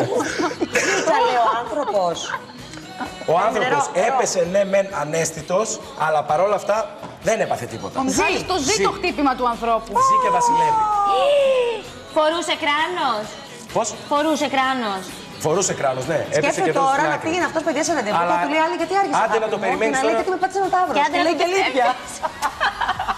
Μην το Και να πας πείτε και αυτό στην σαν ασφαλιστική, στην δικαιολογία. ασφαλιστική και να πεις ότι θέλω να με αποζημιώσετε. Γιατί, γιατί τράκαρα με τάβρο. Κάνανε φιλική Στα δήλωση δίγυντα. μεταξύ τους. Τι θα Ωραία. γίνει, θα συνεχίσεις να πιεις νερό. Αφού γλίτωσε, Τελείωνε. είμαστε Λοιπόν, καλά. όλοι πιστεύουμε σε κάτι, αλλά να ξέρουμε πού προσκυνάμε. Η συμπαθέστατη κατά τα άλλα ηλικιωμένη για, πα- για πάρα μα πάρα πολλά χρόνια Αυτή είναι η ηλικιωμένη. προσευχότανε Είναι το χαρακόντα των δαχτυλιδιών. Ακριβώς. Προσευχότανε σε αυτό εδώ το αγαλματάκι που είναι χαρακτήρας που είναι χαρακτήρας από τον άρχοντα των δαχτυλιδιών, από τη γνωστή κινηματογραφική τριλογία. Και κάποια στιγμή εμφανίστηκε η εγγονή της και της λέει ρε εσύ γιαγιά, αυτό εδώ δεν είναι ο Άγιος Αντώνιος που εσύ πιστεύεις τόσα πολλά χρόνια γλυκούλα. και του ανάβεις κεράκια. Προφανώς ανήκει στην Καημένη, Καθολική παιδιά, Εκκλησία. απίστευτο. Είναι, Καημένη. είναι ο Έλροτ, νόμιζε ότι ο είναι. αρχηγός των ξωτικών. Νόμιζε ότι είναι ο Άγιος Αντώνιος. Παιδιά δεν το πιστεύω. Εντάξει, Καημένη. μοιάζει λίγο. Αυτός είναι ο Άγιος Αντώνιος. Εντάξει, εδώ που τα λέμε τώρα είναι χιουμοριστικό, είναι αστείο. Όχι, ο να καθένας σου πω. παίρνει δύναμη από όπου νομίζει αυτός. Όχι, δε- εγώ να σας πω κάτι όμως. Εγώ έχω Έπρεπε να την στεναχωριέμαι. Και στη αφήσουμε να συνέχεια πιστεύει φυσικά- ότι ήταν ο Άγιος Αντώνιος. Να την αφήσει; Ε, το ε, αντικατέστησε το σημασία δεν αγαλματάκι έχει. με το πραγματικό ε, Σημα- άγαλμα ε, του Γελάμε Αγίου πολύ με Αντωνίου. όλο αυτό, αλλά σημασία δεν έχει τι είναι στην πραγματικότητα. Σημασία Πίστη. έχει ότι η γυναίκα πίστευε ότι είναι ο Άγιος Αντώνιος, άρα Αυτό. προσευχόταν στον Άγιο Αντώνιο. Έπιαναν Άρα δεν τόπο οι έχει προσευχές. σημασία. Ναι, αυτό ακριβώς. Ωραία. Αυτά για σήμερα. Πάρα πολύ ωραία, παιδιά, τέτοια πάντα τέτοια. Εν τω μεταξύ αυτός ξέρετε ποιος είναι. Ο κύριος. Ο Ο Βίβο Σωσίας ο του Βίβο Αντώνη. Βεντρέτα, που δεν βλέπουμε ποτέ το πρόσωπό του στην ταινία. Πολύ Α, ωραία ταινία, ναι. πρόταση για Παρασκευή. Ναι. Για Παρασκευή βράδυ, αν μείνετε σπίτι, να το δείτε. Λοιπόν, δεν έχει και πέντε χιλιά σήμερα. Λοιπόν, πάμε τώρα στα νέα της επικαιρότητας, γιατί μπορεί να πέρασε μόλις μία μέρα από χθες, παιδιά, από τη χθεσινή μας εκπομπή, αλλά έχει γίνει ένας χαμός παντού. Έχει γίνει άλλο. Α ξεκινήσουμε με τα δικά μας εδώ, εντός συνόρων, σας κρατώ, με τον ε, κύριο Γεράσιμο Γιακουμάτο, ο οποίος κατηγορήθηκε ότι έκανε κάποιες ομοφοβικές δηλώσεις. Ζήτησε συγγνώμη ύστερα από την προτροπή ε, του Κυριάκου Μητσοτάκη. Πάμε να θυμηθούμε, αν θέλετε, για όσους δεν το είδαν, τι ακριβώς είχε υποθεί και αμέσως μετά θα σας πω πώς ζήτησε συγγνώμη. Ε, Έχω το χούι να μην είμαι ομοφυλόφιλος. Άρα πρέπει να μ' αρέσουν οι γυναίκες. Τι να κάνω, μ' αρέσουν οι άντρες, δηλαδή και αυτή της μόδας τώρα βέβαια. Αλλά εγώ αυτή τη μόδα δεν την πάω. Είμαι εκτός. Κοίταξε, άμα δεις τηλεόραση, Μμμ. π.χ., η οποία μπαίνει στο σπίτι μέσα, όλα τα παραδείγματα είναι τα 90% τα πετυχημένα ομοφιλοφιλικά. Αυτό δεν έχει να κάνει όμως. Ε, πώς δεν αν έχει να είναι το κάνει, φίλο πώς του δεν- αφού είναι πετυχημένο; Πώς δεν έχει να κάνει; Πώς δεν έχει να κάνει; Όταν το παιδί βλέπει ότι ανεβαίνει, ανεβαίνει, ε, κολλάει. Είναι κολλητική άρρωση. Είναι η κολλητική αρρώστια λοιπόν. Είχε πει στη συνέντευξη στη Σάσα στα μάτια για τα παραπολιτικά. Και όπως καταλαβαίνετε, τόσο στα social media όσο και στις εκπομπές και γενικότερα, εγώ είμαι σίγουρη και στις παρέ, σχολιάστηκε πολύ αρνητικά. Ο Κυριάκος Μητσοτάκης, ο πρόεδρος της Νέας Δημοκρατίας, ε, πήρε θέση μέσω του προσωπικού του λογαριασμού στο Twitter και μάλιστα απέτησε από τον ε, βουλευτή, από τον κύριο Γεράσιμο Γιακουμάτο, να ζητήσει και ο ίδιος συγγνώμη. Πάμε να δούμε τι ακριβώς συνέβη αμέσως μετά. Σ' άλλο προκάλεσε η δήλωση του Γεράσιμου Γιακουμάτου ότι η ομοφιλοφιλία είναι κολλητική ασθένεια. Ο πρόεδρος της Νέας Δημοκρατίας, Κυριάκος Μητσοτάκης, κάλεσε τον βουλευτή αμέσως να ζητήσει συγγνώμη από όσους έθιξε, τονίζοντας πως το κόμμα του δεν δέχεται κανενός είδους διάκριση. Μέσα από το λογαριασμό του στο Twitter, ο Κυριάκος Μητσοτάκης έγραψε «Η δήλωση του κυρίου Γιακουμάτου ήταν ατυχής. Του ζήτησα να ανακαλέσει και να ζητήσει συγγνώμη από όσους έθιξε. Η Νέα Δημοκρατία δεν δέχεται καμία διάκριση». Αμέσως μετά την ανάρτηση του Προέδρου της Νέας Δημοκρατίας, ο κύριος Γιακουμάτος με δήλωσή του ζήτησε συγγνώμη, δίνοντας διευκρινήσεις για όσα είπε σε συνέντευξή του. Επειδή γίνεται μεγάλη σπέκουλα και διαστρέβλωση στα μέσα κοινωνικής δικτύωσης σχετικά με τη συνέντευξη που παραχώρησα στην εφημερίδα Παραπολιτικά, ξεκαθαρίζω ότι δεν υπήρξα και δεν είμαι ομοφοβικός, το οποίο δηλώνω ξεκάθαρα. Και όπως δηλώνω ρητά, σέβομαι απόλυτα τον σεξουαλικό προσανατολισμό κάθε ανθρώπου. Το επίμαχο σημείο αναφέρεται σε μια συζήτηση για τα πρότυπα. Είμαι 40 χρόνια ειδικός παθολόγος και δεν θα μπορούσα να πω ποτέ ότι η ομοφιλοφιλία είναι ασθένεια. Έχω ψηφίσει και το Σύμφωνο Συμβίωσης και το νομοσχέδιο για την άρση οποιασδήποτε διάκρισης. Για όλους όσους εξαιτίας της παραπληροφόρησης όχι αθώων δημοσιογραφικών οργάνων εθίγησαν, ζητώ συγγνώμη. Ωραία, εγώ θα κρατήσω την τελευταία του δήλωση, η οποία είναι ξεκάθαρη νομίζω. Δεν ήταν ξεκάθαρη, συγγνώμη. Ενώ ρε παιδί μου, ότι ας, πούμε, ας υποθέσουμε ε, ότι ήταν μια τυχή στιγμή, γιατί θεωρώ ότι οι άνθρωποι οι οποίοι μιλάνε δημοσίως, ό,τι και να είναι, αλλά πόσο μάλλον όταν είναι πολιτικοί, πρέπει να προσέχουν πάρα πάρα πάρα πολύ. Εδώ πρέπει να προσέχουμε εμείς τι λέμε, που κάνουμε Ναι, και αλλά μια και με- εκπομπή λίγο πιο ελαφριά, λίγο πιο lifestyle. Με μία συγγνώμη δεν νομίζω ότι λύνεται. Και δεν νομίζω πως ήταν και διαστρέβλωση των, ε, αυτά που είπε. Δηλαδή ήταν, Ορίστε. η δήλωσή του ήταν ακριβώς έτσι όπως το είπε και όπως το μεταφέραμε κι εμείς. Άστο! Πάντως για να. Ναι, όχι, Α εμείς κρατήσουμε ακριβώς- αυτό που μας συμφέρει και εμάς. Πάντως, για να λέμε και την πραγματικότητα, δεν γίνεται το 2017 να υπάρχουν άνθρωποι που δεν αποδέχονται. Τώρα δεν μιλάω για τον κύριο Γιακουμάτο. Δεν γίνεται να, μην υπάρχουν, να υπάρχουν άνθρωποι που δεν αποδέχονται την ομοφιλοφιλία. Είναι, τώρα δεν ξέρω αν συμφωνούν ή όχι, αλλά τουλάχιστον να την αποδεχόμαστε, γιατί οι άνθρωποι αυτοί έχουν κάνει μια επιλογή και είναι καθαρά προσωπική. Έτσι, Καλέ, δεν είσαι είναι... καλά. Δεν το συζητάμε και θα αυτό το πρέπει να πράγμα. είναι και σεβαστή. Και μιλάμε τώρα εντωμεταξύ για, ότι το, το λέει ένας άνθρωπος ο οποίος είναι και πολιτικός. Και όταν. ε, Δηλαδή, το θεωρώ πάρα πολύ έξυπνο αυτό που έκανε ο κ. Μητσοτάκης, παιδιά, και το έγραψε στο. το- Δηλαδή, δεν είναι ότι τον πήρε κρυφά και του είπε ζητά συγγνώμη, το είπε και δημοσίως, γιατί έδειξε, έδειξε έτσι και τη στάση του, της δικής τους πλευράς στο σύνολο. Ναι, έχω αυτό την εννοώ. αίσθηση ότι είναι και η γραμμή του. Είναι ένας άνθρωπος αρκετά ανοιχτός. Ε, να σας πω τώρα στη Μίνα Αρναούτη, λες από την αρχή της εκπομπής, Νικολέτα μου, ότι συγκλονίζει το, η καινούργια της τοποθέτηση. Και όντως, γιατί αυτή τη φορά βλέπουμε μία Μίνα Αρναούτη, που ήταν η κοπέλα η οποία επέβαινε στο αυτοκίνητο μαζί με τον Παντελή Παντελίδη τη μοιραία εκείνη η μέρα, εκείνο το πρωινό, τα ξημερώματα που δυστυχώς έφυγε από τη ζωή ο σπουδαίος αυτός ε, καλλιτέχνης. Η Μίνα Αρναούτη λοιπόν ανέβασε στον προσωπικό της λογαριασμό στο Facebook το εξής. Κάθομαι και κοιτάω εκείνο το βίντεο από εκείνη τη μέρα. Θυμάμαι τα γέλια, τις χαρές, τα πειράγματα. Μια στιγμή όμως και όλα αλλάζουν. Ξύπνησα και όλοι ξέρατε. Έκανα δύο μήνες να το μάθω. Ήμουν εκεί μαζί, αλλά ήμουν η μόνη που δεν ήξερε τι συνέβη. Σαν ηλίθια ρώτησα αν πήγε στην πρεμιέρα. Είναι τόσο τραγικό. Και εσείς τι, μου λέτε τι; Έχετε ενεργοποιήσει όλους τους ψυχικούς μου μηχανισμούς άμυνας και δεν μπορώ ακόμα να το βιώσω όπως μου πρέπει, να το κάνω δικό μου κομμάτι, κομμάτι της ζωής μου. Δεν είπα ψέματα, σταματήστε και αν θέλετε να βρείτε την αλήθεια σας αφού δεν μπορείτε να δεχτείτε τη δική μου, ψάξτε αθόρυβα. Αυτό λέει η Μίνα Αρναούτη, το οποίο για μένα είναι αρκετά συναισθηματικό και βλέπουμε μια άλλη πλευρά και όχι τόσο θυμωμένη όπως είχαμε συνηθίσει μέχρι στιγμής. Εγώ να ρωτήσω κάτι για την είχα ιδέα. Ε, δεν ήξερε ότι δεν ζει ο Παντελής Ναι, αυτό Παντελίδης. ισχύει. Για δύο μήνες που ήταν στην εντατική, Σοβαρά όχι, μιλάτε. γιατί θα χειροτέρευε η κατάσταση της υγείας. Αυτό πολλοί δεν το γνωρίζουν. Παιδιά δεν το ήξερα καθ... τίποτα απολύτως, κάτι να ακουστεί εκεί μετά αργότερα όταν συνήλθε η κοπέλα, τίποτα. Να πούμε, γιατί τα λέμε όλα εμείς μέσα από αυτήν την εκπομπή και είμαστε αντικειμενικοί όσο μπορούμε, να πούμε ότι η Μίνα Αρναούτη κινδύνευσε πολύ σοβαρά. Ναι, φυσικά. Ήταν σε πολύ σοβαρή και πολύ κρίσιμη κατάσταση μετά το, το ατύχημα.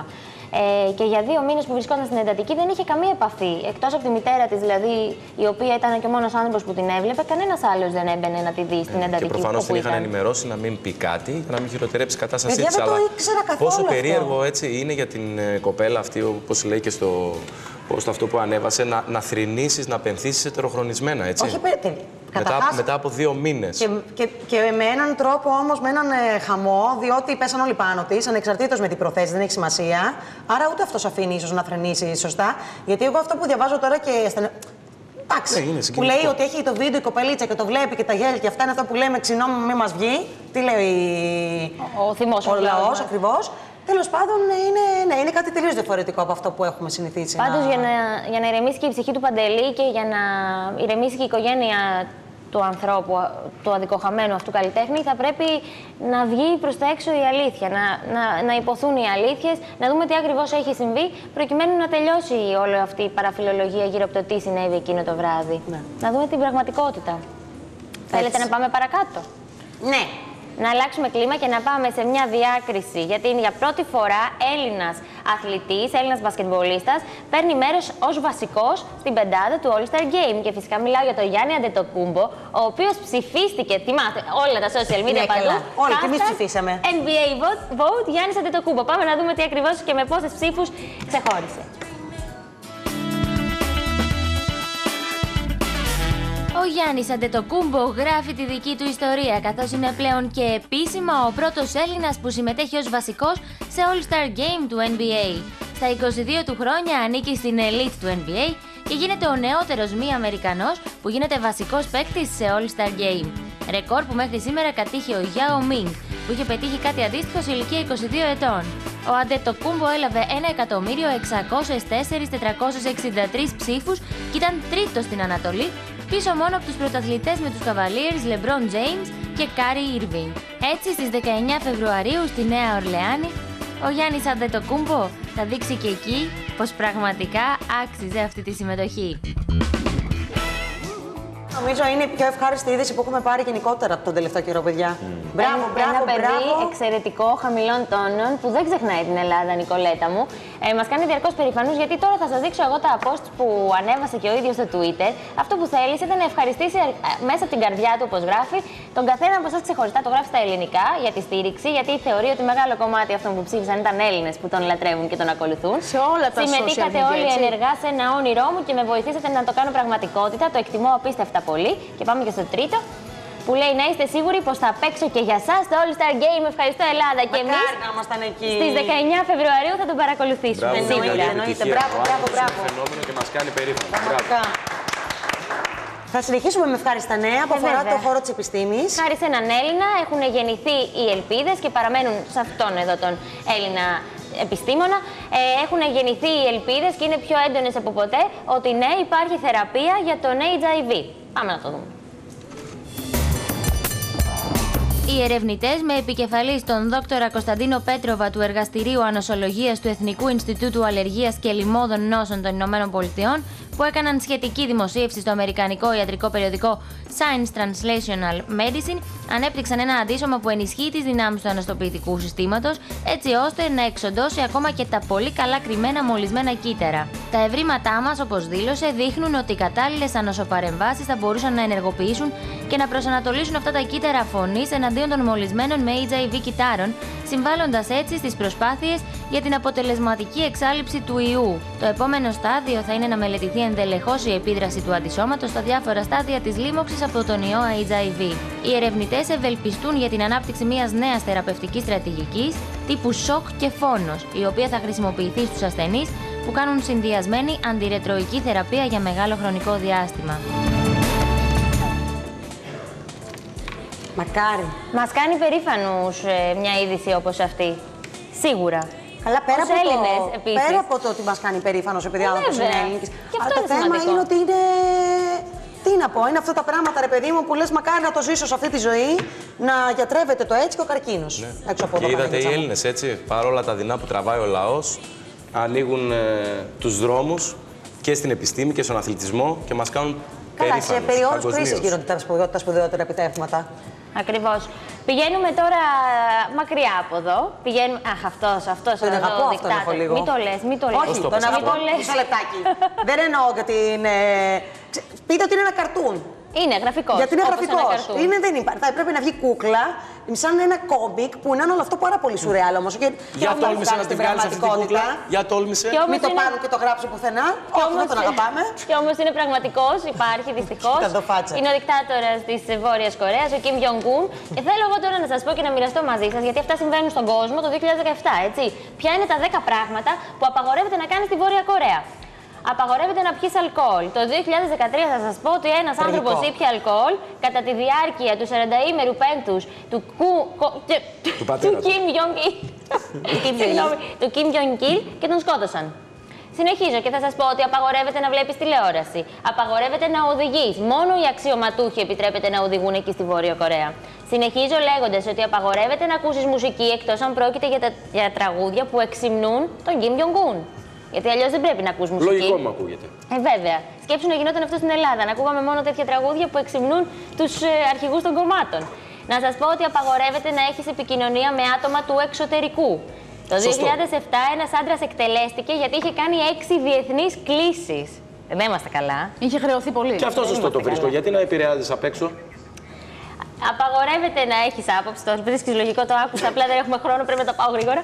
Απαγορεύεται να έχεις άποψη, απαγορεύεται να εγκαταλείψεις τη χώρα. Να πιστεύεις στο Θεό, γιατί μία γυναίκα είχε συλληφθεί γιατί είχε στην κατοχή της μία βίβλο. Και πολύ δημοκρατία βλάπτει, συμφωνώ. Απαγορεύεται, απαγορεύεται να σερφάρεις αγαπάω. το ίντερνετ και απαγορεύεται, και αυτό είναι το τελευταίο, να παρακολουθείς ταινίες σεξουαλικού, αισθησιακού περιεχομένου. Αυτά. Μάλιστα. Δεν θυμάμαι που, στη LiFO, είχα διαβάσει για μια γυναίκα η οποία είχε μείνει στη Βόρεια Κορέα και είχε πει ότι τα περισσότερα από αυτά δεν είναι τόσο αλήθεια. Όχι αυτά που λες εσύ τώρα, αλλά θεωρώ, θεωρώ και αυτά ότι κάποια μπορεί να είναι και λίγο υπερβολή, ρε παιδί μου. Εντάξει, είναι και Ότι λίγο είναι τα υπερβολικά τώρα, πράγματα δεν και κατάλαβα. κάπως ότι είναι, είναι, Οι άνθρωποι προφανώς. τώρα δηλαδή μέσα στα σπίτια τους δεν μπορούν να κάνουν όλα αυτά. Κρυφά. Όχι Δεν μπροστά ξέρω. τους. Ε, Και πες, Όταν το Σοφία. μάθουν όμως, τελείωσε. Αυτό ήταν. Λοιπόν, ήρθε η ώρα να μάθουμε, παιδιά, τι δώρα θα μας φέρει ο Δίας. Συγγνώμη για την πλάτη. Καλησπέρα, Βασιλική μου. Καλησπέρα. Για το 2017, γιατί φήμες λένε Ναι. ότι δεν έχουμε δει τίποτα ακόμα και τα καλύτερα έρχονται, είναι στον Φήμες, δρόμο. φήμες. Ναι, ναι, ναι, ναι. Εντάξει, αφού το λένε Αστρολογικές μπορεί να φήμες. είναι και έτσι με μια υπερβολή, αλλά θα φέρουν όντως. Ο Δίας θα φέρει, φέρνει πολλά δώρα πάντα. Κοίταξε το Δία. Ο Δίας πρώτα πρώτα. ναι, για να μην παραπονιέσαι, για σένα το κάνει. Α, για μένα ο Δίας. ναι. Γιατί συνήθως ο Δίας άλλα πράγματα κάνει, γι' αυτό κακά. Συνουσιάζεται. Μην κάνεις συνειδητό. Τέλος πάντων. Έχουμε αγωνία. Λοιπόν, ο Φέρνει Δίας δώρα. λοιπόν κάνει έναν δωδεκαετή κύκλο, ο οποίος είναι πάρα πολύ σημαντικός γιατί έχουμε παρεξηγήσει λίγο τη δράση του. Είναι σαν τον καλό γονιό, ο οποίος έρχεται την πρώτη εξαετία και μας φέρνει πολλά δώρα για να μας δοκιμάσει, ανάλογα βέβαια σε ποιον οίκο βρίσκεται. Για να δοκιμάσει δηλαδή το πώς μπορούμε να τα αξιοποιήσουμε σωστά. Και μετά την επόμενη εξαετία, για να κλείσει το 12ετή του κύκλο, αρχίζει και βλέπει αν πρέπει να συνεχίσει να φέρνει δώρα σε περίπτωση που διαχειριστήκαμε σωστά τα προηγούμενα ολόκληρη την εξαετία. Οπότε τα μυστικά του Δία για να μπορέσουμε να βγάλουμε το καλύτερο αποτέλεσμα για εμάς και να δημιουργήσουμε ένα σωστό μέλλον με τις προϋποθέσεις που θέλουμε είναι να κάνουμε σωστή διαχείριση. Τα έντονα αρνητικά στοιχεία που μπορεί να μας βγάλει ο Δίας στο χαρακτήρα μας είναι η υπερβολή, η αλαζονία, ο εγωισμός και η λανθασμένη περηφάνεια. Και από την άλλη, τα καλά του είναι η αυθονία, η αισιοδοξία, ε, η γενεοδορία και ο πλούτος. Και φυσικά η σοφία που είναι ο απότερος σκοπός της ύπαρξης του Δία στο χάρτη μας. Οπότε θα δούμε πώς επηρεάζει Καλέ, το πάμε κάθε να ξεκινήσουμε, ζώδιο ο Αναστάσο. Δίας. Θα τα πω στα γρήγορα, μην στεναχωριέσαι, γιατί είναι πολύ σημαντικά αυτά. Πρέπει να καταλάβουμε ότι όλα είναι Σωστό. κύκλος και η δράση έχει πάντα μία αντίδραση. Μετράει και από εμάς. Α, μπράβο. Έτσι λοιπόν για τους κρυούς μας ο Δίας αυτόν τον καιρό βρίσκεται μέχρι τον Οκτώβριο θα βρίσκεται στον 7ο ηλιακό οίκο. Ο 7ος ηλιακός οίκος φέρνει τώρα μέσα από τις σχέσεις με τους συνεργάτες ή με τον σύντροφο μας δείχνει τα λάθη που μπορεί να κάναμε πριν 6 χρόνια, στο πώς δηλαδή δημιουργήσαμε, ε, χτίσαμε την προσωπικότητά μας πάνω σε τι αξίες και σε τι βάσεις. Στην περίπτωση λοιπόν που τα δώρα που μας έφερε πριν 6 χρόνια δεν τα διαχειριστήκαμε τόσο σωστά όσο έπρεπε, αυτό αρχίζει και δημιουργεί κάποια προβλήματα στις σχέσεις με τον σύντροφο. Μπορεί τώρα δηλαδή να αναγκαστούμε να κάνουμε αλλαγές, μπορεί να αναγκαστούμε να φύγουμε από μία σχέση ή αν τα έχουμε διαχειριστεί σωστά, από εκεί και πέρα μπορούμε να δούμε τη σχέση μας να πηγαίνει στο επόμενο επίπεδο. Οι ταύροι μας με τον Δία στο ζυγό ευνοούνται πάρα πολύ σε- όσον αφορά στα θέματα της καθημερινότητας. Τώρα ο Δίας βρίσκεται σε έναν οίκο που είναι ο τελευταίος ε, χρόνος όπου βάζετε γερές βάσεις, κυρίως σε ό,τι έχει να κάνει με την καθημερινή εργασία και με τη διατροφή. Δίνει μία τάση παραπάνω στην υπερβολή όσον αφορά στο φαγητό, αλλά είναι και αυτό μέσα στις δοκιμασίες, τις όμορφες που φέρνει ο Δίας, ε, και μέσα από αυτό μπορούμε να υιοθετήσουμε ένα πολύ καλό πρόγραμμα γυμναστικής, ένα πολύ καλό πρόγραμμα διατροφής και συγχρόνως για τους Σταύρους φέρνει και νέους φίλους στη ζωή τους οι οποίοι το, τους βοηθούν ε, πάρα πολύ για να μπορέσουν να εξελιχθούν σαν προσωπικότητες αλλά συγχρόνως να κάνουν και νέα ξεκινήματα με περισσότερο θάρρος. Θα συνεχίσει με τον δίδυμο; Θέλεις; Θέλω να το κρατήσεις για να μην νικήσει σε αγωνία. Συγγνώμη, κορίτσι, Να αλλά έχει πρέπει. Και είναι και αγωνία. πολύ δίδυμοι εκεί έξω. Πάμε σε διαφημίσεις και επιστρέφουμε με τα υπόλοιπα ζώδια. Δίας, χαμός. Δείτε σε λίγο τι θα φέρει ο Δίας στα ζώδια το 2017, όλα τα μυστικά για τον πιο σεξι συνδυασμό του χειμώνα, τι έγινε στον κόσμο σαν σήμερα.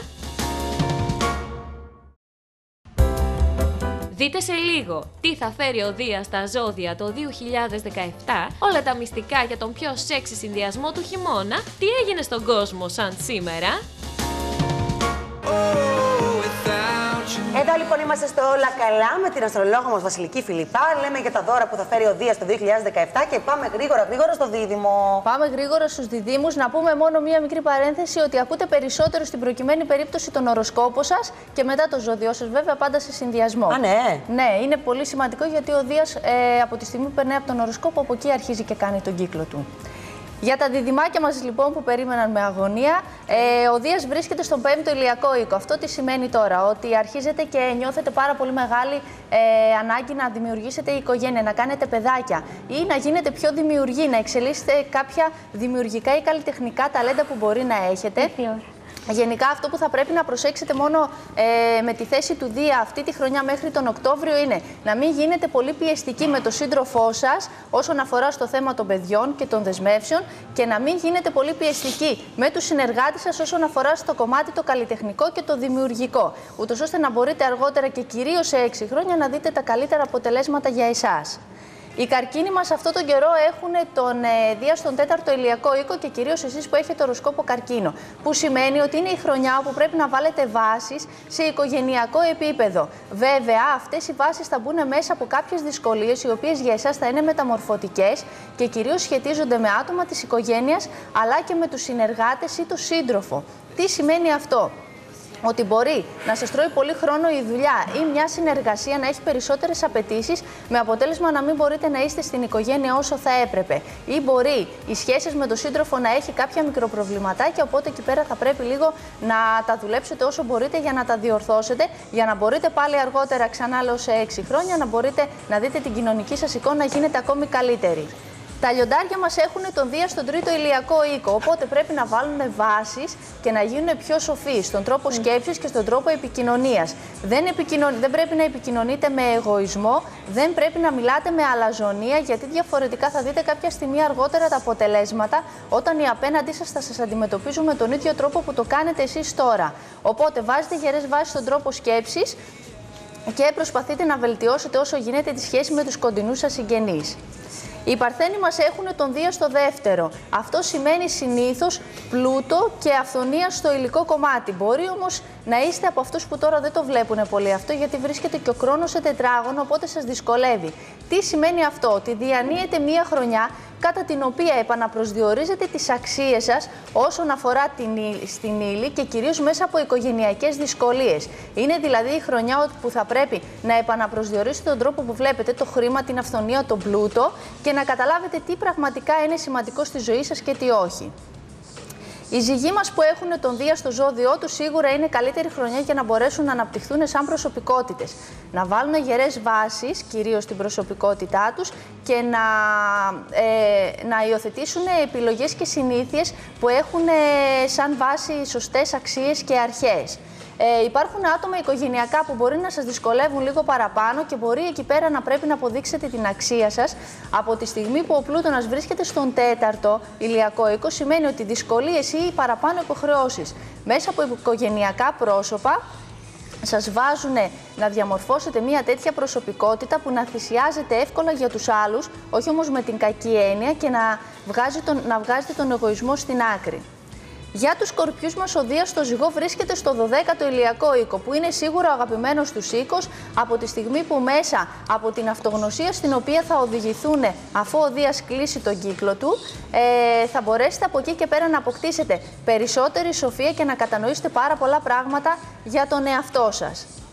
Επίσης, μεταμορφώνεστε στο κομμάτι που έχει να κάνει με τη διανόηση, αλλά και μπορείτε αυτή τη χρονιά να αναπτύξετε πάρα πολύ τα καλλιτεχνικά σας ταλέντα. Σε περίπτωση όμως που πριν 6 χρόνια δεν έχετε διαχειριστεί σωστά το κομμάτι της καθημερινής εργασίας, εκεί πέρα μπορεί να σας βγουν κάποιες ανασφάλειες, κάποιες υπερβολές και μπορεί και να μην μπορείτε πολύ εύκολα να τα βρείτε με τον εαυτό σας.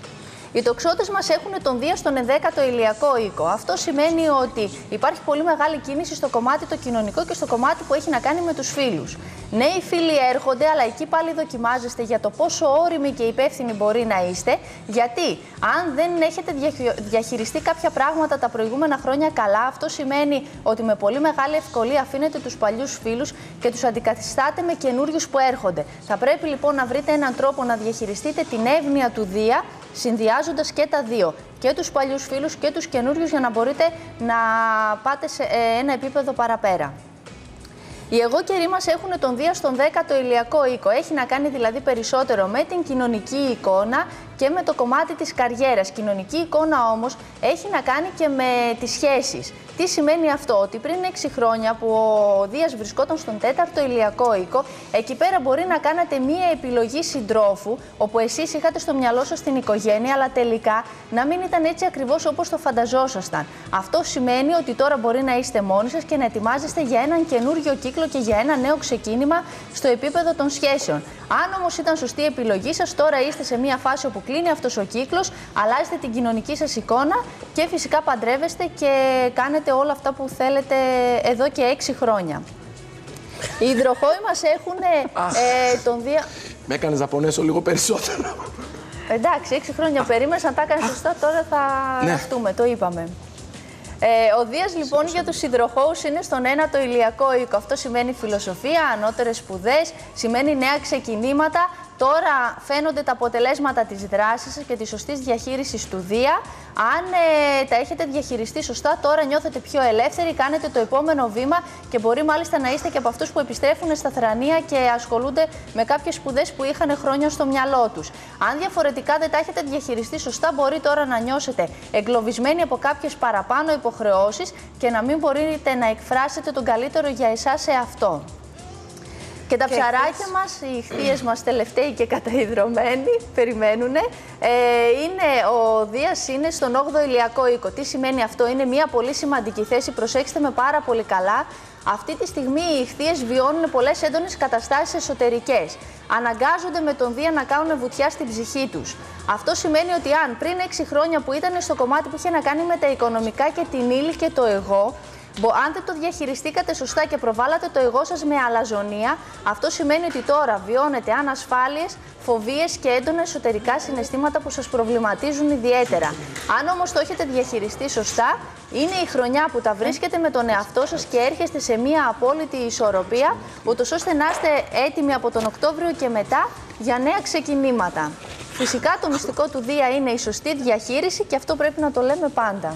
Τέλεια. Ευχαριστούμε πάρα, πάρα Νικολέτα. πολύ, Βασιλική. Και εγώ Μου πάτε τα ευχαριστώ. ευχάριστα και τα καλύτερα μας λες. Εγώ στο Ελπίζω. σημείο αυτό, με πολύ μεγάλη έτσι χαρά, γιατί θα πάμε πάρα πολύ κουφέτο το 2017, να πάω στη Γιώτα. Δεν θα μας πει τι θα φορέσουμε στους γάμους, αλλά θα μας πει πώς μπορούμε να είμαστε σεξy με ωραία φαρτιά πουλόβερ, αλλά και με Στην λινζερί. καθημερινότητά μας Ναι, και έτσι. ζεσέ. Πάρα, πάρα πολύ βασικό. Κάτι που κάθε γυναίκα θέλει να πετύχει. Είσαι πάρα πολύ ωραία. Ένας συνδυασμός είναι Κοίτα αυτός εδώ. που έκανα εγώ σήμερα. Έτσι. Αυτό που πες και εσύ πολύ σωστά, τον ένα νόμο λίγο το ρίχνουμε. Ε, πάντα. Φαίνεται τα σκηνάκια έτσι από το μπράλετ μας που θα μιλήσουμε, θα πούμε τι είναι τα μπράλετ, τα οποία φέτος μα Συγγνώμη. απασχολήσουν πάρα μα πάρα πολύ.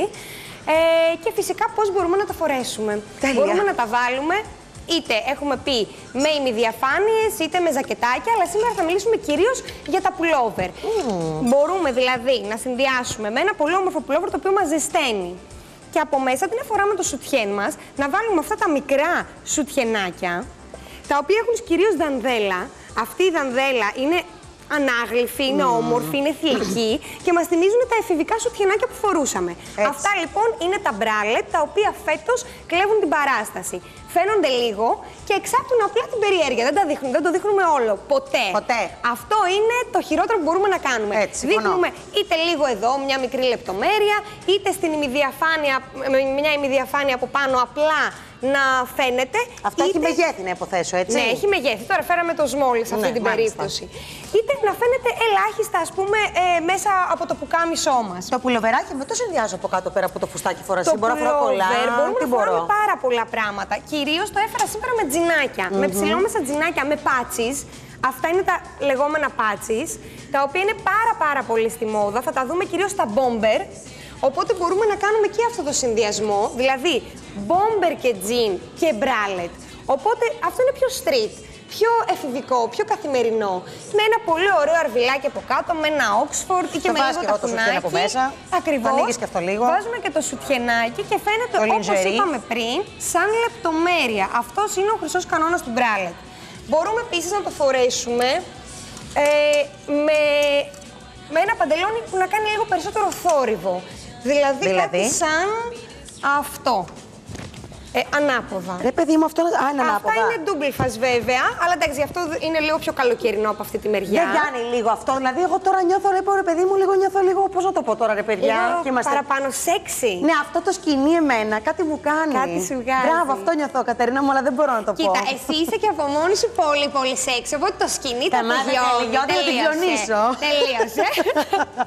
Με αυτό λοιπόν που έδειξες που είναι πολύ πιο trendy, από την άλλη μεριά, αυτό είναι double fast, από την άλλη Α, μεριά έχει τέλεια. Διχτάκι. Οπότε το φοράμε όπως μας αρέσει.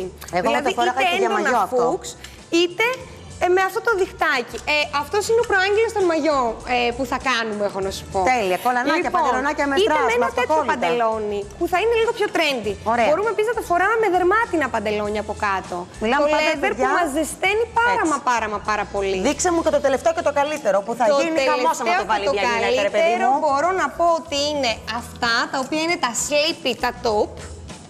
Μπορούμε να τα φορέσουμε είτε με ένα σουτιενάκι που να κάνει λίγο παραπάνω θόρυβο, δηλαδή να έχει λίγο στρασάκι. Πώς το πες αυτό, sleepy top. Sleepy top, ναι, είναι αυτά που λέμε του ύπνου. Μας θυμίζουν λίγο νυχτικάκι, λίγο πιτζαμάκι. Το έχουμε δείξει και σε φόρεμα. Ναι, αυτό. δεν είσαι τρελή άμα βγεις με αυτό έξω. Όχι, αυτό είναι που καμίσα ή- και είναι η τελευταία τάση φέτος. Δηλαδή αυτό που θα μας πει ότι είμαστε ε, πολύ πολύ σωστές. Με μια γόβα, με μια οβερνδενή μπότα ε, και επίσης το Μ' αρέσει. λουλούδι που έχει αυτή που καμίσα Ναι. σε συνδυασμό με το χρώμα της που είναι ένα παστέλ ροζ ε, είναι ακόμα ακόμα πιο θηλυκό. Ωραία. Μας θυμίζει λίγο ε, μ, έτσι γυναίκες ε, πιο μεσο- Ανατολή. Ναι, λίγο πιο ε, ρέτρο. Λοιπόν, πες μας τι θα βάλουμε στο Facebook τώρα για όλες μας τις τηλεθεάτρες ή τους τηλεθεατές, γιατί εμείς δεν έχουμε τέτοια θέματα, να ξέρετε. Βέβαια. Για να κερδίσουν. Το δωράκι Όπως μας, αυτό είπαμε, θα το είναι. καλύτερο που σου άφησα για το τέλος. Αυτό που λέγαμε τόση ώρα. Αυτό; Μία που καμίσα, floral, sleepy, τελευταία ε, λέξη της μόδας για φέτος. Το δίνουμε Τώρα θα από μπει. την Θέλει να Designer. βγάλουμε φωτογραφία, να τη βάλουμε στο Facebook τώρα. Κάντε like, θα γίνει η κλήρωση. Να δούμε ποια ή ποιος τυχερός θα κερδίσει αυτό το υπέροχο, υπέροχο, υπέροχο φουστανοσλίπι. Να βγει η φωτογραφία. Γιώτα, μου ευχαριστούμε πάρα, πάρα, Εγώ πάρα σε πολύ. ευχαριστώ πάρα πολύ. Θα ξαναλέμε την επόμενη Παρασκευή. Λοιπόν, εμείς εδώ συνεχίζουμε. Πού πάμε, Πάμε προς τον καναπέ. Ε; Διότι τη Δευτέρα θα γίνει χαμός, παιδιά, εδώ. Ε, βέβαια θα Ο γίνει. Μιχάλης του τύπου έφυγε, δεν Ο μας κάνει για Μιχάλης θα παρέα. έρθει σε λίγο, είναι τουαλέτα. Μείναν Θα τρεις γίνει άνες στον χαμός. καναπέ.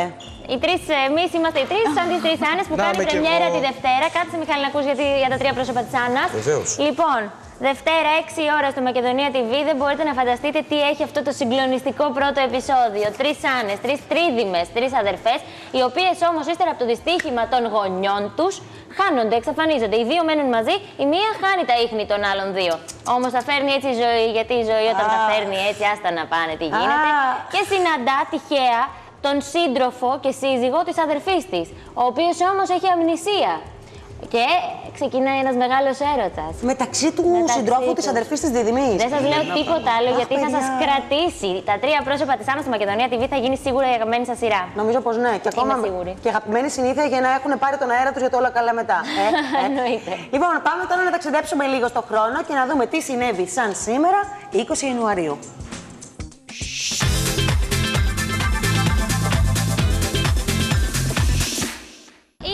Παρασκευή 20 Ιανουαρίου. Φτάσαμε στο τέλος της εβδομάδας και εύχομαι να έχετε προγραμματίσει να περάσετε το Σαββατοκύριακό σας μοναδικά με αυτούς που πραγματικά αγαπάτε και σας κάνουν να χαμογελάτε μακριά από προβλήματα. Πάμε να κάνουμε το καθιερωμένο μας ταξίδι στην ιστορία. Σαν σήμερα το 2012 φεύγει από τη ζωή η πολύ γνωστή τραγουδίστρια Έτα James. Πάμε να ξεκινήσουμε με ένα δικό της κομμάτι.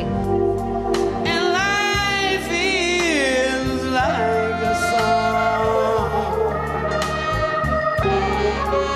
1996 ο Γιασέρα Αραφάτ εκλέγεται πρόεδρος της Παλαιστινιακής Αρχής.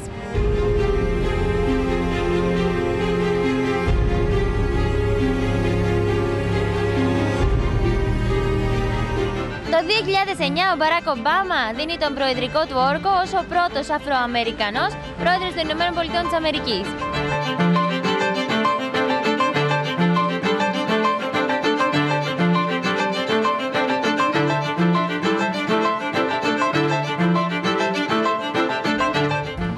1933 ο Βασιλιάς Όθων φτάνει με τη φρεγάτα Μαδαγασκάρη στο Ναύπλιο, συνοδεία 4.000 βαβαρών στρατιωτών.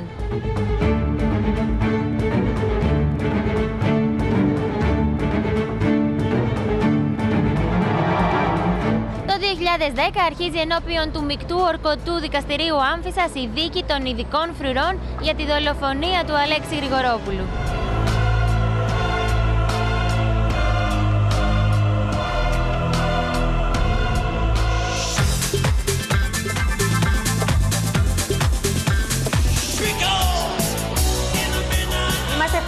Χαρούμενοι γιατί έχουμε στην παρέα μας τους αγαπημένους μας, τον κύριο Άρη Κρούσκο, εκπρόσωπο της Φιρτέκ, αλλά και την Τέση ε, Κουβελογιάννη. Καλησπέρα σας. Καλησπέρα σας, τι κάνετε. ε; Γεια σας, Καιρό γεια έχουμε να σας. σα δούμε και είχα αρχίσει Ναι, να μια πονώ. εβδο- Μια εβδομάδα. Α, ε, ναι, Μας παιδιά. δουλεύεις. Εδώ δεν είμαστε. Σας το λέω γιατί τώρα με τον καιρό, λίγο με τον καιρό τον κακό, λίγο με όλα αυτά, υπάρχει πάρα πολλοί κόσμος ο οποίος έχει θέματα με, αυχε... με αυχένε, με μέση. Μμμ. Παρόντες υπάρχουν ονόματα δεν λέμε γιατί δεν μας αφήνουν, ε, μειοσκελετικά. Και νομίζω ότι Η- είσαστε η απάντηση Η, σε λύ- αυτό. η λύση είναι εδώ. Η λύση. Η λύση είναι εδώ, σε αυτό το θαυματουργό θα έλεγα ύφασμα νανοτεχνολογίας της Φιφτέκ. Ε, το είδαμε και την προηγούμενη εβδομάδα. Θα το ξαναδούμε Για- γιατί δεν το χορτώνουμε ποτέ. Ακριβώς. Γιατί όλη τη δουλειά, να ξέρετε, την κάνει αυτό το ύφασμα εδώ, βασισμένο σε- στη τεχνολογία της Νανοτεχνολογία. νανοτεχνολογία. Νανοτεχνολογία. Ακριβώς. Ακριβώς. Πόσα ορυκτά. Έχει 22 ορυκτά, μέταλλα και ημιπολίτημους λίθους. Που Αυτή η, κάνουν όλη τη επένδυση, δουλειά. αυτή η επένδυση ακριβώς εδώ δημιουργεί υπερεμία στην περιοχή στην οποία εφαρμόζει κανείς ε, αυτό το θαυματουργό ύφασμα. Επίσης, Ε, να προσθέσω εδώ ότι έχει την ιδιότητα, εσύ μου το έχεις μάθει και το λέω, η, η ενέργεια που έχει το σώμα μας να μην χάνεται στο περιβάλλον, Σωστά. να επιστρέφει πίσω σε Σωστά, εμάς. Σωστά, επιστρέφει πίσω μας. Βεβαίως αυτή η ενέργεια έχει την ιδιότητα να εισχωρεί βαθιά μέσα στο σώμα. Σε, αντίθετη, σε αντίθεση με μια θερμότητα που παίρνει κανείς από μια θερμοφόρα ή από ένα σώμα καλοριφέρει, από ένα θερματικό σώμα, η οποία θερμότητα σταματάει στην επιφάνεια του δέρματός μας. Αυτή η, ακρι- η, ακριβώς η, ακτι- η ακτινοβολία εισχωρεί βαθιά μέσα στο σώμα και δημιουργεί αυτή την ευεργετική υπερεμία. Να ρωτήσω Τι κάτι που σημαίνει δεν το έχω ρωτήσει υπερεμία; ποτέ. Οξυγόνωση. Πείτε το, ναι. Καλή οξυγόνωση. Αυτό. Καλή οξυγόνωση περιοχή. Έγκυος γυναίκα μπορεί να το βάλει; Ε, Άμα της μπαίνει. Ναι, βεβαίως. Εννοώ δηλαδή τώρα, δεν το είχα σκεφτεί ποτέ αυτό, γιατί και οι γυναίκες, δηλαδή, ειδικά στην εγκύμωση, όταν αρχίζει και μεγαλώνει η κυλίτσα που τους πιάνει λίγο η μέση τους. Ναι. Μπορεί να τη φορέσει. Φυσικά και μπορεί. Βέβαια, πάντα ακολουθούμε συμβουλή του γιατρού, τη συμβουλή του γιατρού. Πάντα. Αν ο γιατρός πει όχι ζεστό, δεν θα φορέσει αυτό το, Η αλήθεια αυτό το είναι ότι προϊόν. όταν είσαι σε κατάσταση εγκυμοσύνης, δεν θέλεις να έχεις πίεση. Να πίεση. Ναι. Δεν μιλάω Ναι, ναι, ναι, ναι, ναι. Μιλήσαμε ακριβώς. για τη Μιλάει ζώνη. μια γυναίκα. Να μιλήσουμε λίγο και για το κολάρο. Αυτό εδώ το υπέροχο. Το, Το οποίο, κολάρο. παιδιά, ειδικά όταν έχεις και έχουμε μάθει σε όλα αυτά τα τεράστια τα πράγματα τα οποία μας ενοχλούν, παίρνεις αυτό εδώ, βάζεις το ύφασμα το μαγικό πίσω εδώ στο λεμουδάκο σου. Αχ, Ακριβώς. Νιώθεις κάτι; το νιώσα για κατά καλά, έχω να σου πω. Όχι, νιώθεις, σε, σε ενοχλείς, σε Όχι σε κάθε καθόλου, αυτό κίνηση. σου Α, λέω. λοιπόν. Είναι απίστευτο, παιδιά, ότι Ακριβώς. είναι τόσο η λεπτό και ανάλαφρη στηρίζεται. κατασκευή. Η ανάλαφρη κατασκευή που γίνεται στα ορθοπαιδικά Είναι, βοηθήματα. κοιμάσαι άνετα. Κοιμάσαι άνετα, δηλαδή δεν σε ενοχλεί Ε, τίποτα. ναι, η Ντέση ξέρει πολύ καλά ξέρω γιατί το τη, χρησιμοποιώ εγώ τη το δράση κολάρο. του. Και μην ξεχνάμε βεβαίως Δείξτε εδώ όλα. Έμεινε. και, Μου την αρέσει. επι- και την επιγονατίδα. Γιατί ε, ξέρετε βέβαια ότι η Φιρτέκα έχει ένα ορθοπαιδικό βοήθημα ξεχωριστό για κάθε σημείο του σώματος που έχει πρόβλημα. Και η επιγονατίδα είναι επενδεδημένη με αυτά τα υλικά, τα υλικά νανοτεχνολογίας και βεβαίως οι πάτοι. πάτοι, Αχ, οι ναι, περίφημοι πάτοι. Άμα δεν πείτε πάτοι, για τους πάτους, εγώ δεν το φεύγω. καινούριο προϊόν, το καινούριο προϊόν της ε, Φιρτέκ. Αυτό είναι, και για αυτό- όλους. για όλους. Για όλους, Αυτό Για το όλους. βγαίνει μέσα από το Δεν παπούτσι, μέσα χρειάζεται από να την έχει παντόφλα. πρόβλημα κάποιος για να φορέσει τους πάτους ε, της Φιρτέκ. Έχει πολύ ανάλαφρο ε, υπόστρωμα, μαλακό. Ε, δημιουργεί υπεραιμία και αυτό ε, στο πόδι. Είναι πολύ καλό να το φοράμε το βράδυ στις παντόφλες χωρίς κάλτσα για να έρχεται σε επαφή με τα Πατουσίτσα. υλικά αυτά ε, το πέλμα στο οποίο ε, ε, καταλήγουν χιλιάδες απολύσεις Έχω, από το σώμα έχω μας. γνωστό ο οποίος το φοράει μέσα από την κάλτσα. Είναι και αυτό μια πρακτική Όλη μέσα, μέρα, μέσα από την κάλτσα. Ο- ο- το φοράει κανείς όλη μέρα. Βοηθάει ιδιαίτερα στην ορθοστασία. Ε, το κυριότερο είναι ότι ανακουφίζει από πόνους στο πέλμα. Και όλα αυτά να πούμε βεβαίως ότι τα νιώθετε να δουλεύουν από την πρώτη φορά που τα φοράτε. Δεν είναι κάτι το οποίο πρέπει να μπει σε μια διαδικασία. Ναι, το, το, κάθε σώμα, Έτσι. το κάθε σώμα μιλάει διαφορετικά. Φυσικά. Μπορεί, μπορεί την πρώτη μέρα ή την επόμενη ή σε λίγες ώρες. Ναι, ναι, απίστευτο. Εγώ όμως, ε. μέσα σε πάρα πολύ λίγες ώρες ένιωσα την πρώτη Απίστευτο. ανακούφιση στον αυχένα. Απίστευτο. Όταν τη Πού έβαλα θα στο- βρούμε αυτά τα υπέροχα προϊόντα που μας ρωτάει συνέχεια ο κόσμος; Εύκολα στο 2311 300 400 Στο site. στο, στο site μας Fintech.gr firtech.gr και στα φυσικά μας καταστήματα. Ένα στην Αθήνα στον Άλυμο, Λεωφόρο Ιωνίας 35 και στη Θεσσαλονίκη, στη γλυκιά Θεσσαλονίκη, Ζουμετίκου 45 στη Χαριλάου. Να ρωτήσω κάτι εγώ.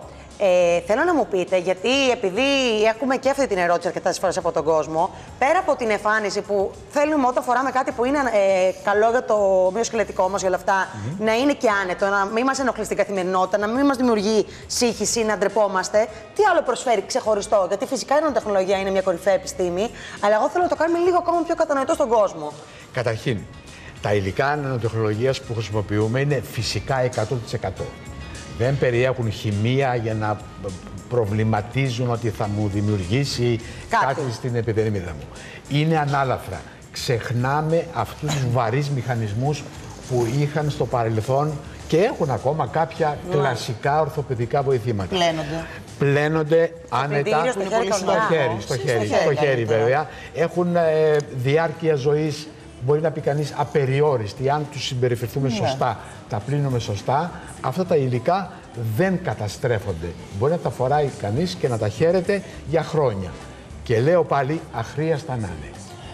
Έτσι. Έτσι. Αχρίαστα να είναι, αλλά όμως Σωστό. που είναι χρήσιμα και τα χρειαζόμαστε πολύ. Φυσικά. Φυσικά. Ναι.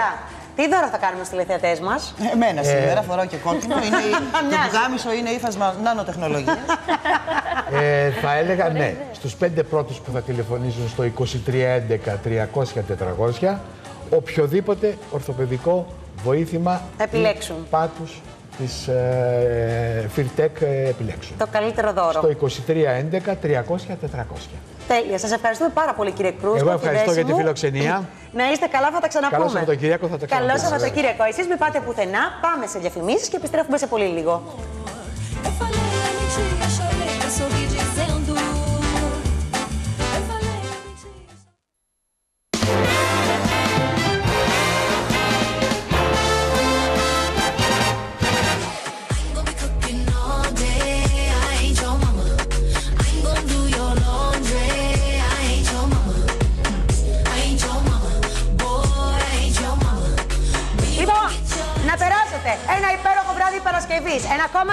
Σαββατοκύριακο και μην ξεχνάτε Δευτέρα, πρεμιέρα 3 Άννε στις 6 εδώ στο Μακεδονία TV.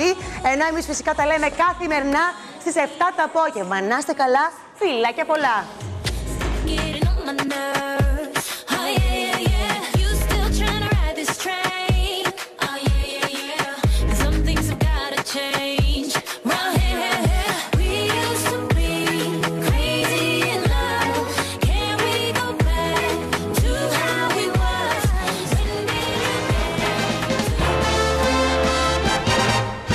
Gotta grab hold of life with all of my might, like each moment just might be my last.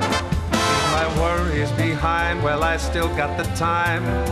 Leave it all in the past. You get one chance at life, so I'm living it right, and I'll risk it all, come what may. Make it here, make it now.